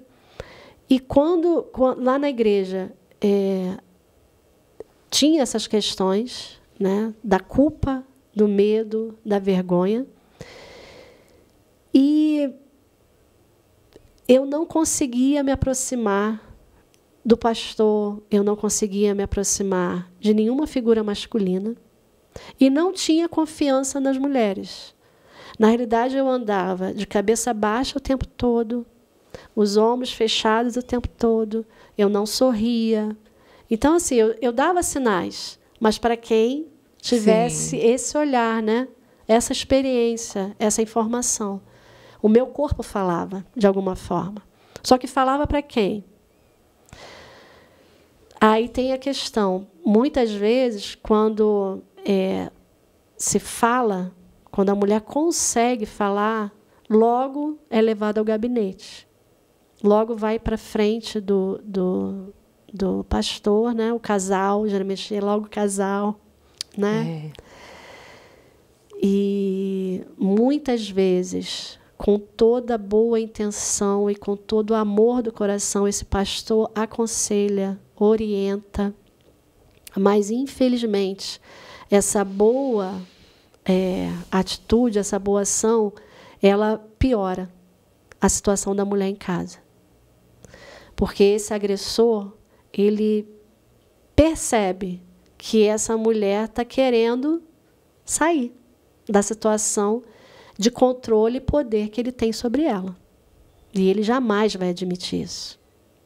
É muito triste, é, Jamile, é, constatar que 40% das mulheres que são é, abusadas e que denunciam no 80, elas são evangélicas. 40% é muito. É muito. É um número muito alto. Muito alto. E essas mulheres, elas estão na igreja, podem estar ao seu lado, podem estar caladas, ou elas podem ter tentado falar. Por algum sinal, né? E muitas pessoas não, não viu, né? Não, não viu, vê. não entendeu, é. não conhece. É... Por ser evangélica, né? É, por ser pela crente, desinform... tá ali na igreja. E pela desinformação. Sim. E por acreditar que as pessoas mudam em Cristo. Há transformação. Agora é quando você, quando a pessoa quer. É. Quando ela não quer, não quer receber mudança, não tem jeito. Exatamente, porque o Espírito Santo ele é gentil, ele é amoroso, ele é de uma, uma delicadeza Sim. tão grande que ele jamais vai impor algo para a pessoa. Ele, ele trabalha no convencimento, mas se a pessoa. Né? Como você, né? Você começou, você orava por ele, orava para o mal sair, né? Mas você mudou, você mudou a oração, foi para você orar, né? Começou a orar por você. Exatamente. Para Deus já entrar em ação ali, o Espírito Santo já abrir uma porta para você, né? Ali o que, que, você vai, vai fazer. E o Espírito Santo começou a te conduzir Exatamente. ali no certo, Isso. né? Então, é, tem que é, é, essa, essa, essas situações são muito delicadas, né? E nenhuma é Sim. é igual à Não. outra. Nenhuma é. é igual à outra.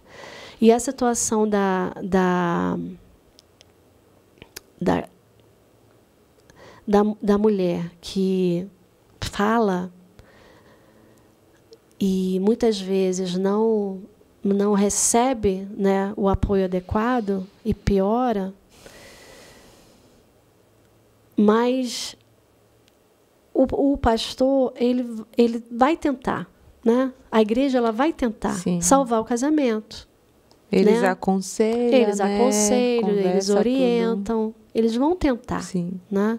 Porque é o papel da igreja, é o que orienta a palavra.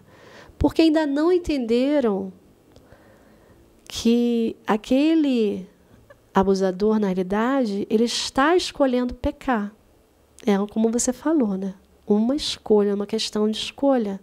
ele está escolhendo continuar no pecado. Sim. E aí, por mais triste que seja também, assim, o percentual de homens que mudam a direção é muito pequeno. É muito pequeno. E aí é triste também dizer que para é, você trabalhar com essa. Você ajudar, na realidade, é ajudar a mulher e esse homem, eles têm que ficar afastados para poder serem tratados. É? Para a proteção dessa mulher. E isso é uma decisão difícil para a igreja, apoiar essa ideia, ah, né? Sim. Eles querem que se manter junto, né? Se resolver junto ali, né?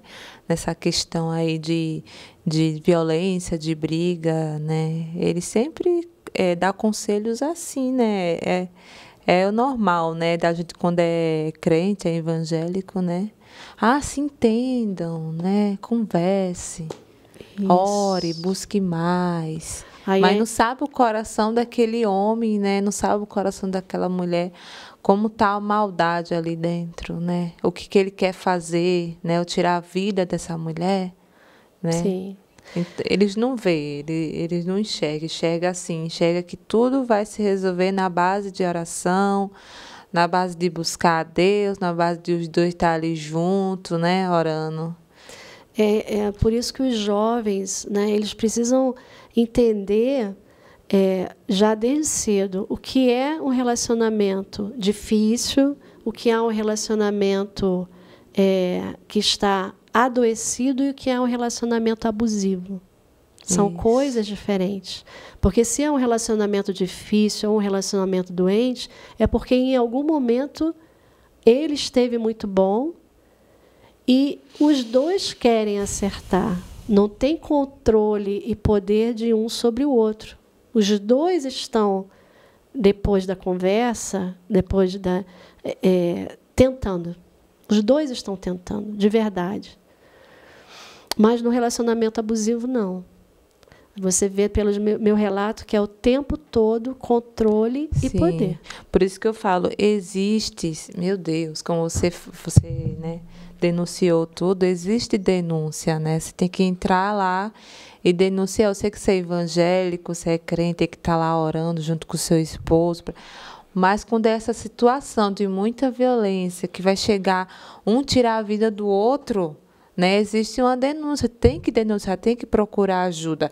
Vai esperar o quê? Os filhos, o pai e a mãe sepultar você? Sepultar o seu sonho? né? Sepultar o que você vivia com seus filhos, os seus projetos que Deus tinha na sua vida.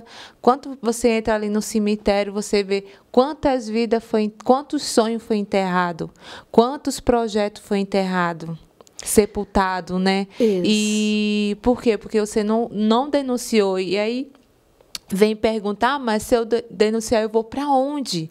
Como que eu vou viver? Né? Mas Deus sempre tem uma solução. Deus sempre está. O Espírito Santo, Deus se entregou na cruz por nós. Né? Ele deixou o Espírito Santo para estar tá ali junto com nós, né? aconselhar, tá ali é, acalmar os nossos corações, né? É, dar direção ao certo. Você, ninguém vai estar tá só.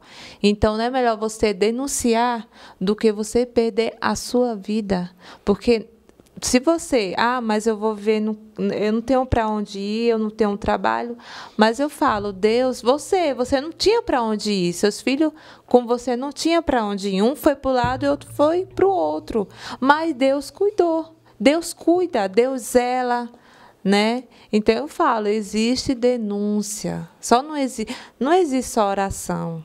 Né? Não existe só buscar os dois e tal.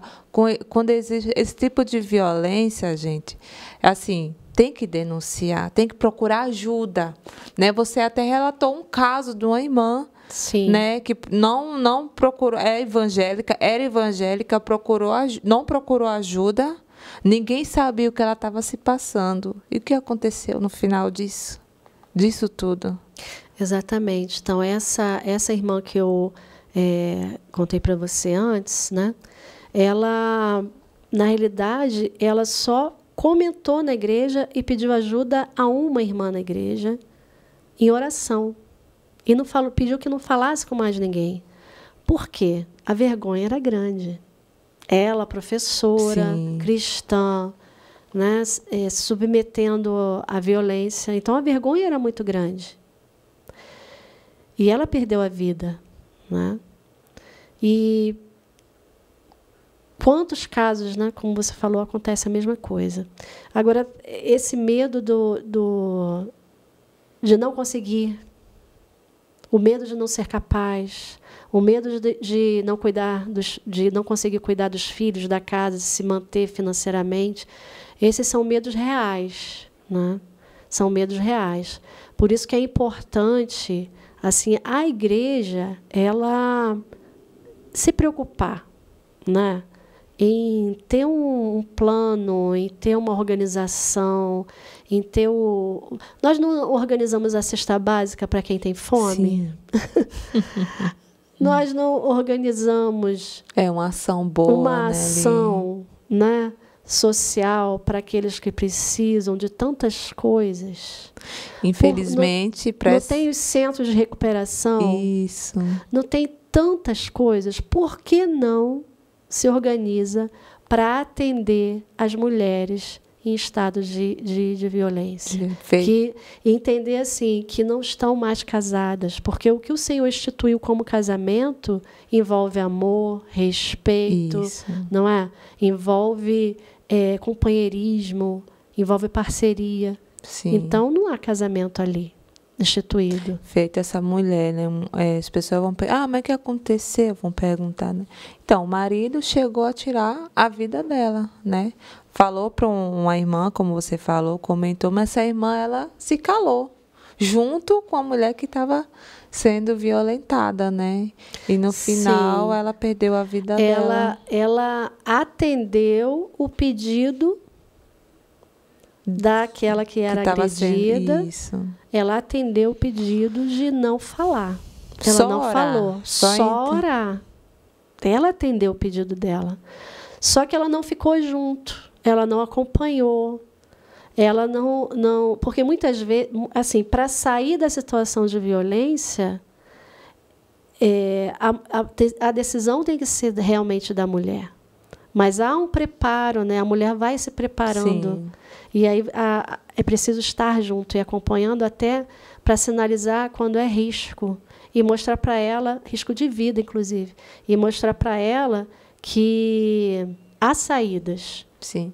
Como Sempre teve para você, teve uma saída. Mostrar que há uma saída, Sim. né? É, os meus filhos não me abandonaram. Os meus filhos estavam lá, juntos. Sim. Dando suporte. Que eu precisava saber que alguém me amava, independentemente das minhas escolhas. Você tinha suas escolhas, né? É, os seus mas, filhos respeitou sua, sua escolha. Mas eles me amavam. Sim. Né? E muitas vezes as mulheres elas ficam com esse medo de terem perdido o amor dos pais, dos irmãos, pelas escolhas que fizeram. Sim. E aí é, isso é assim, o inimigo também ele usa isso, né? Sim. Ele usa essa, esse tipo Felizmente, de, né, de pensamento para atacar, para ela não, para minar a força Sim. dela, para tomar a decisão de sair, né? A decisão de sair da, da situação de violência. Sim. Né? E sim, aí você denunciou, né? Procurou ajuda à, à autoridade, né? E como o que o que aconteceu? Eu denunciei, fiz a, a denúncia pelo, pelo 180 e depois disso, assim, há dificuldade de fazer registro em delegacia, em, em conseguir alguém que ouvisse em aos locais certos. Isso continua difícil. Não sei como é aqui em São Paulo, mas no Rio de Janeiro isso ainda é algo a ser muito melhorado. Sim. Né? Porque eu fui a, por três vezes né, em locais diferentes para poder conseguir fazer isso, essa denúncia, esse registro. E quando eu fui fazer exame de corpo de delito, o médico que me atendeu falou que não via nada, não tinha como comprovar Nossa. nada e escreveu isso na ficha Então, isso me atrapalhou né, no processo. Depois que eu consegui anexar exames, depois que eu consegui é, colocar ressonância, é, laudos de, de, de, ortopedista especialista em joelho, porque eu tive é, três dos meus ligamentos, que são quatro do joelho, comprometidos. Um foi rompido, está rompido até hoje. Um, um foi é, teve uma, um estiramento e um outro também foi abalado. E como que está hoje a sua perna? Para a honra e glória do Senhor. Tá? Sustentada tá. por Ele. Sem cirurgia. Sim. Né? E estou caminhando, larguei as muletas, que isso também foi milagre. É, eu digo que houve uma sequência de milagres, né? E um deles é esse, Sim. que eu hoje caminho, né? E não sinto dor, sem Glória muletas, né? Pela ação mesmo do, do poder de Deus. E logo depois que eu é, que o laudo não, né? Eles não, o médico descreveu, né, que não, é, sim, que não tinha aí nada. Entrou, aí entrou o processo de divórcio, entrou o processo criminal e, e a minha a minha advogada juntou todas as provas, tentou que eu fizesse um outro corpo de delito para invalidar aquele primeiro exame, mas é, aí a, a, a, juíza, diante da, dos exames e do relatório médico do especialista em joelho, é, é, resolveu é, ignorar, ah, descartar ignorar, aquele primeiro exame corpo de delito. Nem precisei fazer um outro que também é uma, uma outra questão, né? É você ficar repetindo para as autoridades, você ficar se expondo, é muito cansativo, muito sim, cansativo. Sim. No momento que você precisa de cura. Né? Então, é, é, é, a denúncia é difícil, porque não é simplesmente o, o fato de falar. Você precisa está fortalecida, né? Como Sim. diz a palavra, no Senhor e na força do seu poder, para você permanecer na sua decisão, para você continuar, né? E é por amor. Eu fui por amor aos meus filhos. A minha decisão foi essa, né? Conduzida pelo Espírito Santo. E aí quando é, eu percebi que, que é, o assédio dele iria continuar, eu pedi medida protetiva, eu tinha medo pela minha vida, né? Ele, ele descumpriu a medida protetiva e eu não consegui, assim, os policiais tentaram prendê-lo, mas não conseguiram.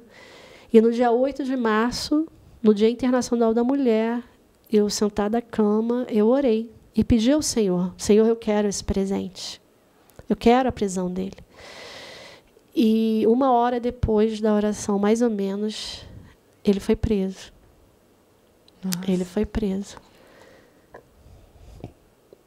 E mais um milagre, né? Mais uma uma prova assim, o Senhor falava, eu sou contigo, né? E ali foram meses, né, de, de, de tranquilidade, né, com a prisão dele. Sim. E veio, né, essa proposta da escrita do livro e eu pude me dedicar à escrita do livro, à cura. Deus levantou é, várias, é, várias pessoas para estarem ao meu lado, para cuidar de mim, para eu ter condições de escrever o livro e entender qual era a vontade dele, né? Porque eu dizia, Senhor, é, eu vou falar, está no meu coração aqui o direcionamento de eu falar desde a minha infância para as pessoas entenderem por que eu não fui, por que eu me envolvi, por os porquês, né? Que as pessoas Sim. perguntavam muito. Mas é só isso?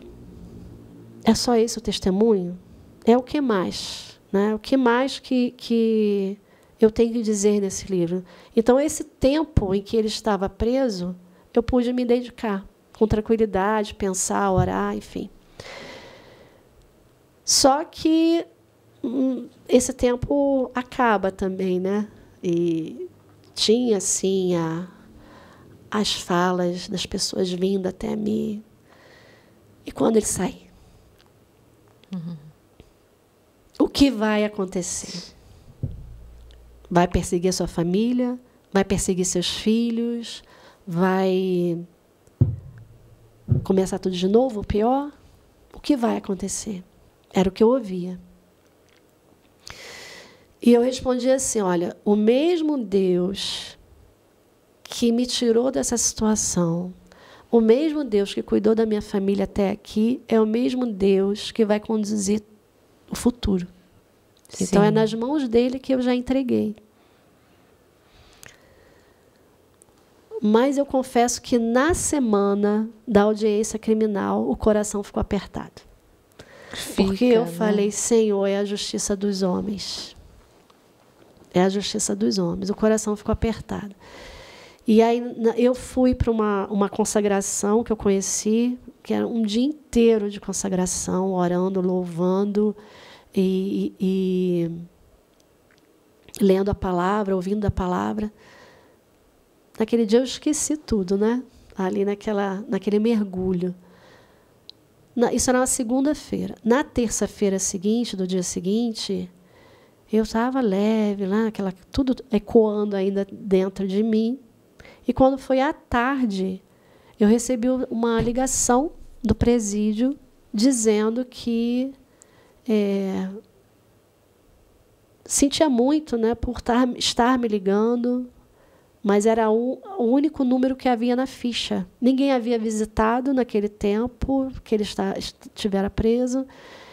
E eles não tinham outro, outro contato. Então ligaram para mim para informar que ele havia é, tido um infarto fulminante, que ele havia morrido, apesar dos esforços de todos.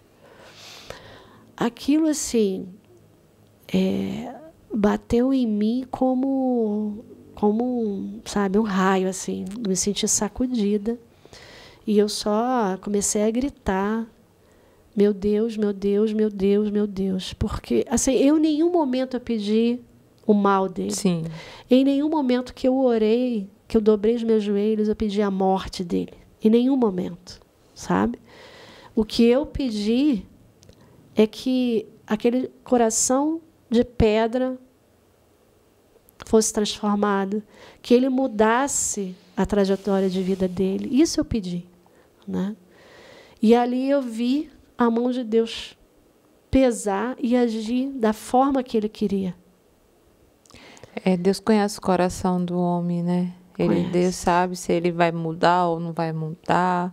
Deus conhece. Só Deus, só Deus conhece o coração.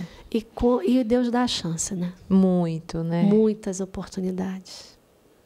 É. Deus é um Deus de, é, de, detalhes e é um Deus de oportunidades. Sim. Quantas oportunidades ele, ele não nos dá né, para nós é, pararmos de, de agir de uma forma que ele não quer. Né? Ele nos dá muitas oportunidades.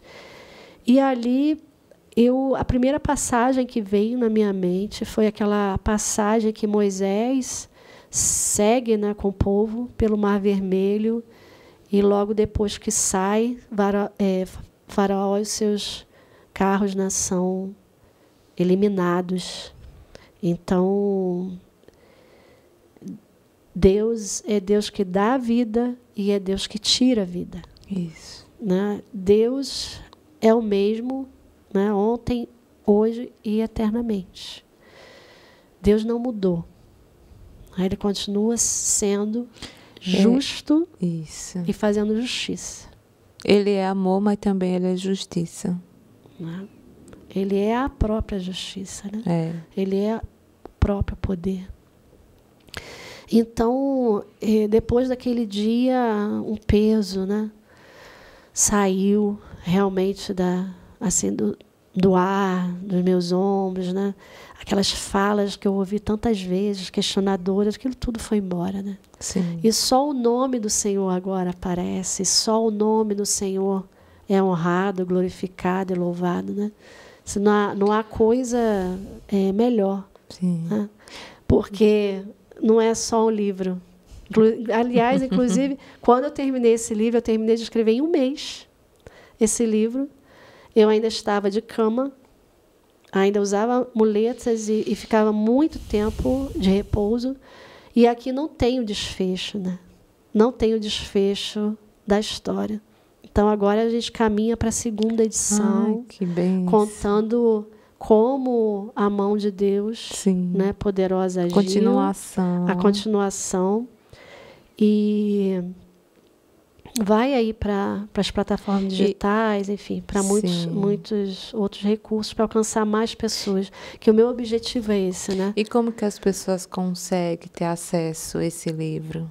Bem, e atualmente eu, eu coloco lá o meu contato, né? Tem Instagram e tem número de celular e as pessoas encomendam. Mas logo, logo, como eu disse, vai ter acesso à segunda edição ah, também sim. completa nas plataformas digitais, sim, Amazon, essas, esses outros locais, Amém. entendeu? E eu pergunto para você, Simone, é, você hoje está curada?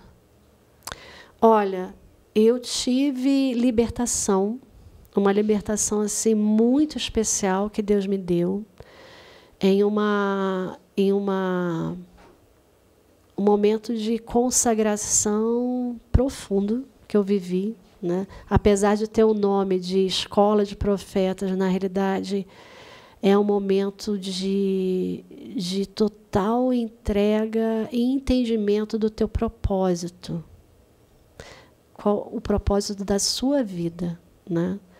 A escola de profetas lá da é, que eu fiz com a minha filha em BH, lá em Belo Horizonte, do profeta Vinícius Iracé e da profeta Ariane Iracé. Eles é, me ajudaram muito, sem saber, eles nem sabem disso. E no meio de um povo de muita gente que estava naquele lugar. A profeta Ariane fazendo uma oração que ela nem sabia que Deus agiria ali para mim, naquele, naquela multidão que estava reunida naquele hotel lá, naquele salão. Ela orou de uma maneira muito simples por libertação e eu recebi essa libertação. Eu senti sair de dentro de mim Algo Sim. como se tivesse sido é, puxado por um poder do alto, tirando do meu peito algo que me oprimia. E no dia seguinte, é, com o passar dos dias, eu fui percebendo o que tinha acontecido. Porque, assim, eu não, não tinha essa visão de que eu precisava de libertação de algo dentro de mim. Mas Deus primeiro tratou e me fez entender o que havia acontecido. Ele me libertou né, da questão da, da baixa autoestima. Ele me libertou do, do sentimento que eu trazia desde a infância de menor valor, de é, desvalorização. Né? Ele me encheu assim de, de autoconhecimento. E aí eu falo para você, quando eu falo, quando eu converso com você aqui, quando eu estou conversando em grupos de mulheres, Deus está me tratando. Porque o meu propósito, quando ele falou comigo, era que eu falasse da ação dele e que eu falasse de como a igreja precisa cuidar das suas mulheres, como a igreja precisa é, ser sacudida em relação sim. a isso. Já você, passa do tempo. Você, sim. Então esse esse propósito em mim veio claro como água depois daquele dia. Sim. Não, não há mais é, confusão, mas a cura a cura completa, eu consigo cada vez que eu falo, que eu conto, que eu explico, que eu me exponho, mais um pouquinho eu curo, me Sim. curo mais um pouco, entende? Porque às vezes, numa pergunta sua, numa fala, em algo que eu ouço de uma mulher, de um depoimento, que ela vem até me é, contar, eu percebo que ainda falta alguma coisa. Né? Ainda falta, tem alguma coisa aqui que precisa ser tocada. É. E Deus vai mostrando, Sim, Deus vai mostrando. sim. Então é processo. Até mesmo porque é, eu o que eu vivi foi muito forte. Não é possível esquecer, né? Não é possível esquecer.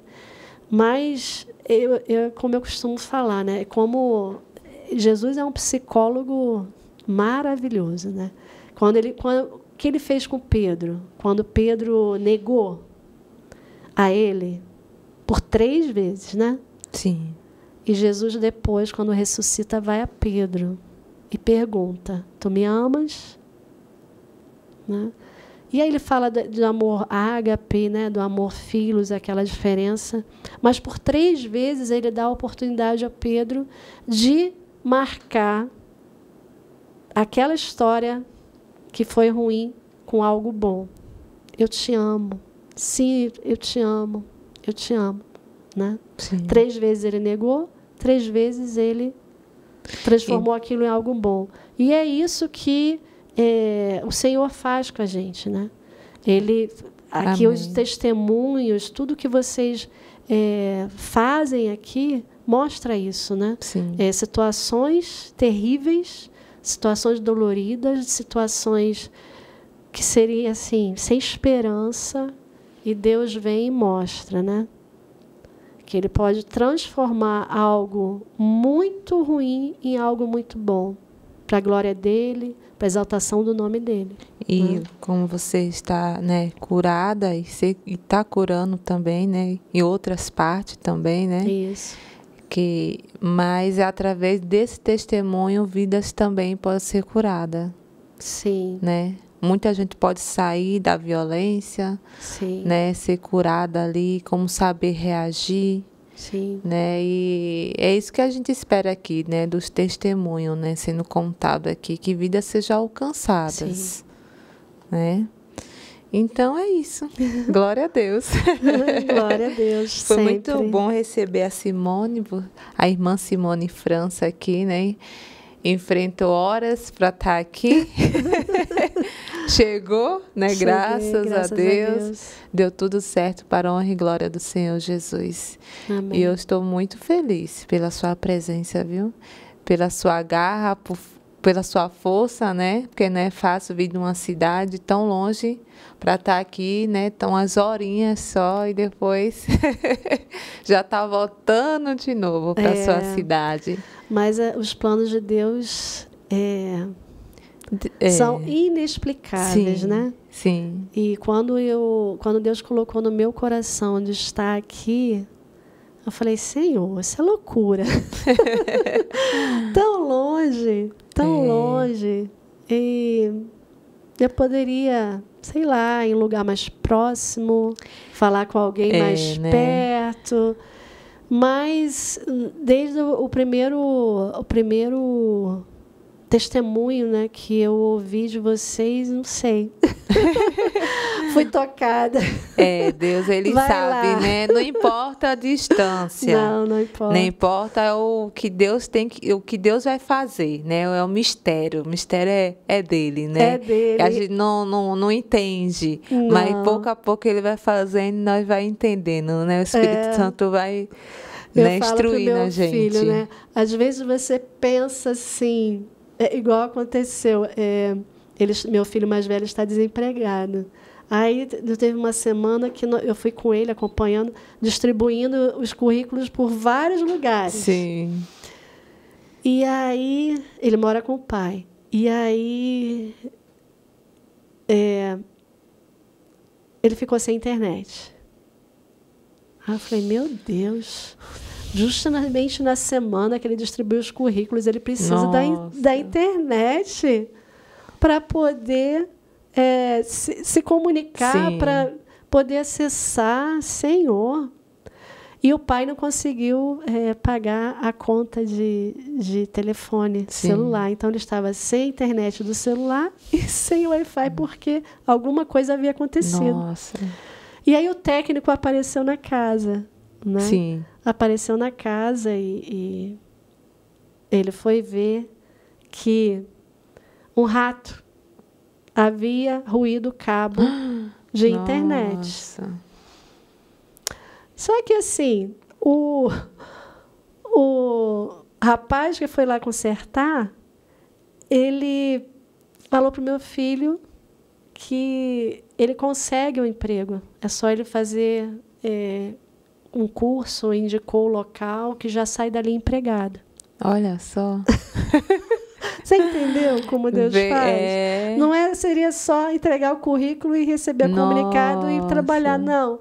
Ele distribuiu o currículo, ele fez a internet, né? O rato Gente. ruía lá, o cabo, a internet acabar, ele ficar aflito por, se, se iria ou não, mas ele fez o quê? Se, se manteve Tran- calmo, Calmo e tranquilo. tranquilo, confiando no Senhor.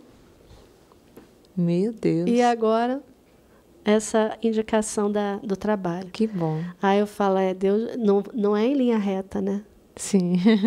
Ele, ele gosta de fazer É, é um diferente sempre, detalhes sempre. Amém. né? Glória a Deus. É, Simone, eu agradeço mais uma vez. Deus continua abençoando a sua vida, viu? E a vida da sua família, a sua casa, né? Deus continua abençoando. Amém. Amém. Glória Obrigada. a Deus. É, vamos fazer uma oração, né? Vamos. Você pode fazer uma oração? Posso? Amém? Amém. Vamos, então. Senhor, Deus amado, Deus Jesus bendito, amado. graças te damos, Senhor, porque o Senhor é Deus poderoso Meu e é Deus, Deus sobre todas as coisas e tem o controle sobre tudo, absolutamente Jesus. tudo, Senhor. Não há nada que escape da tua mão, não há nada, Senhor, que escape do teu controle. O Senhor é Deus, Senhor, Deus de agora, é Deus de ontem também, mas também é o Deus do para sempre, é o Deus do futuro, o Deus que nós confiamos e cremos, Senhor. A. Somente a Ti adoramos, somente a Ti bendizemos Sim, e somente a Ti entregamos, Senhor. Cada um das nossas questões, cada um dos nossos problemas, confiamos em Ti, porque o Senhor é Deus do impossível. Para Ti não há, Senhor, impossíveis. Glória a Deus por isso. Santificado, Senhor, seja o teu nome. E aqui, Senhor, seja feita a tua vontade sempre. Pai glória a bendito. Pai querido, Deus amado, graças te dou. Agradecemos, Senhor, por até aqui nos ter sustentado, Sim, ajudado e ter, Senhor, nos dado direção em tudo que nós estamos fazendo. Glória agradeço pela vida do irmão Rafael, agradeço pela vida da irmã Jamile, agradeço, Senhor, por esse espaço, por este lugar. Senhor, abençoa esses equipamentos, Senhor.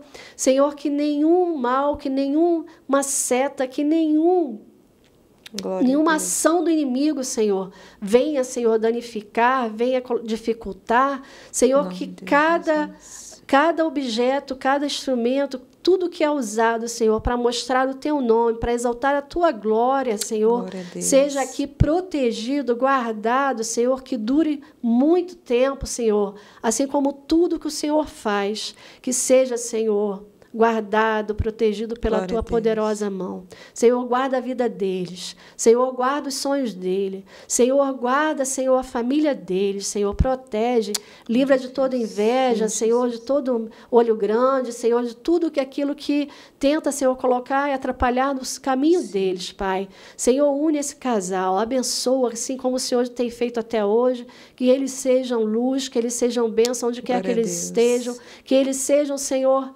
adoradores e divulgadores, Senhor, da tua glória.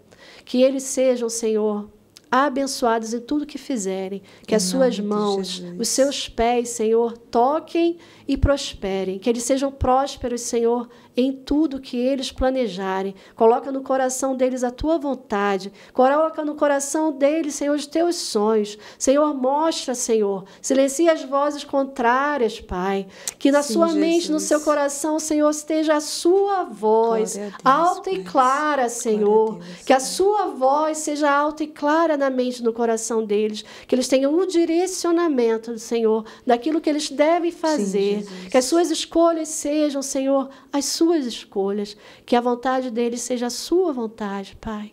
Ó Deus Todo-Poderoso. A sua presença, Pai, Glória a seja Deus. constante na vida deles, Pai.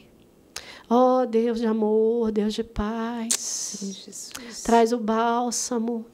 Traz, Senhor, aquilo que precisa ser curado, aquilo que precisa ser tratado, aquilo lá no íntimo, Senhor, que só eles sabem, Sim, Senhor, que eles colocam no teu altar, aquilo que o Senhor, eles derramam suas lágrimas, Senhor, naquilo que eles dobram os seus joelhos, o seu coração se derrama, Pai.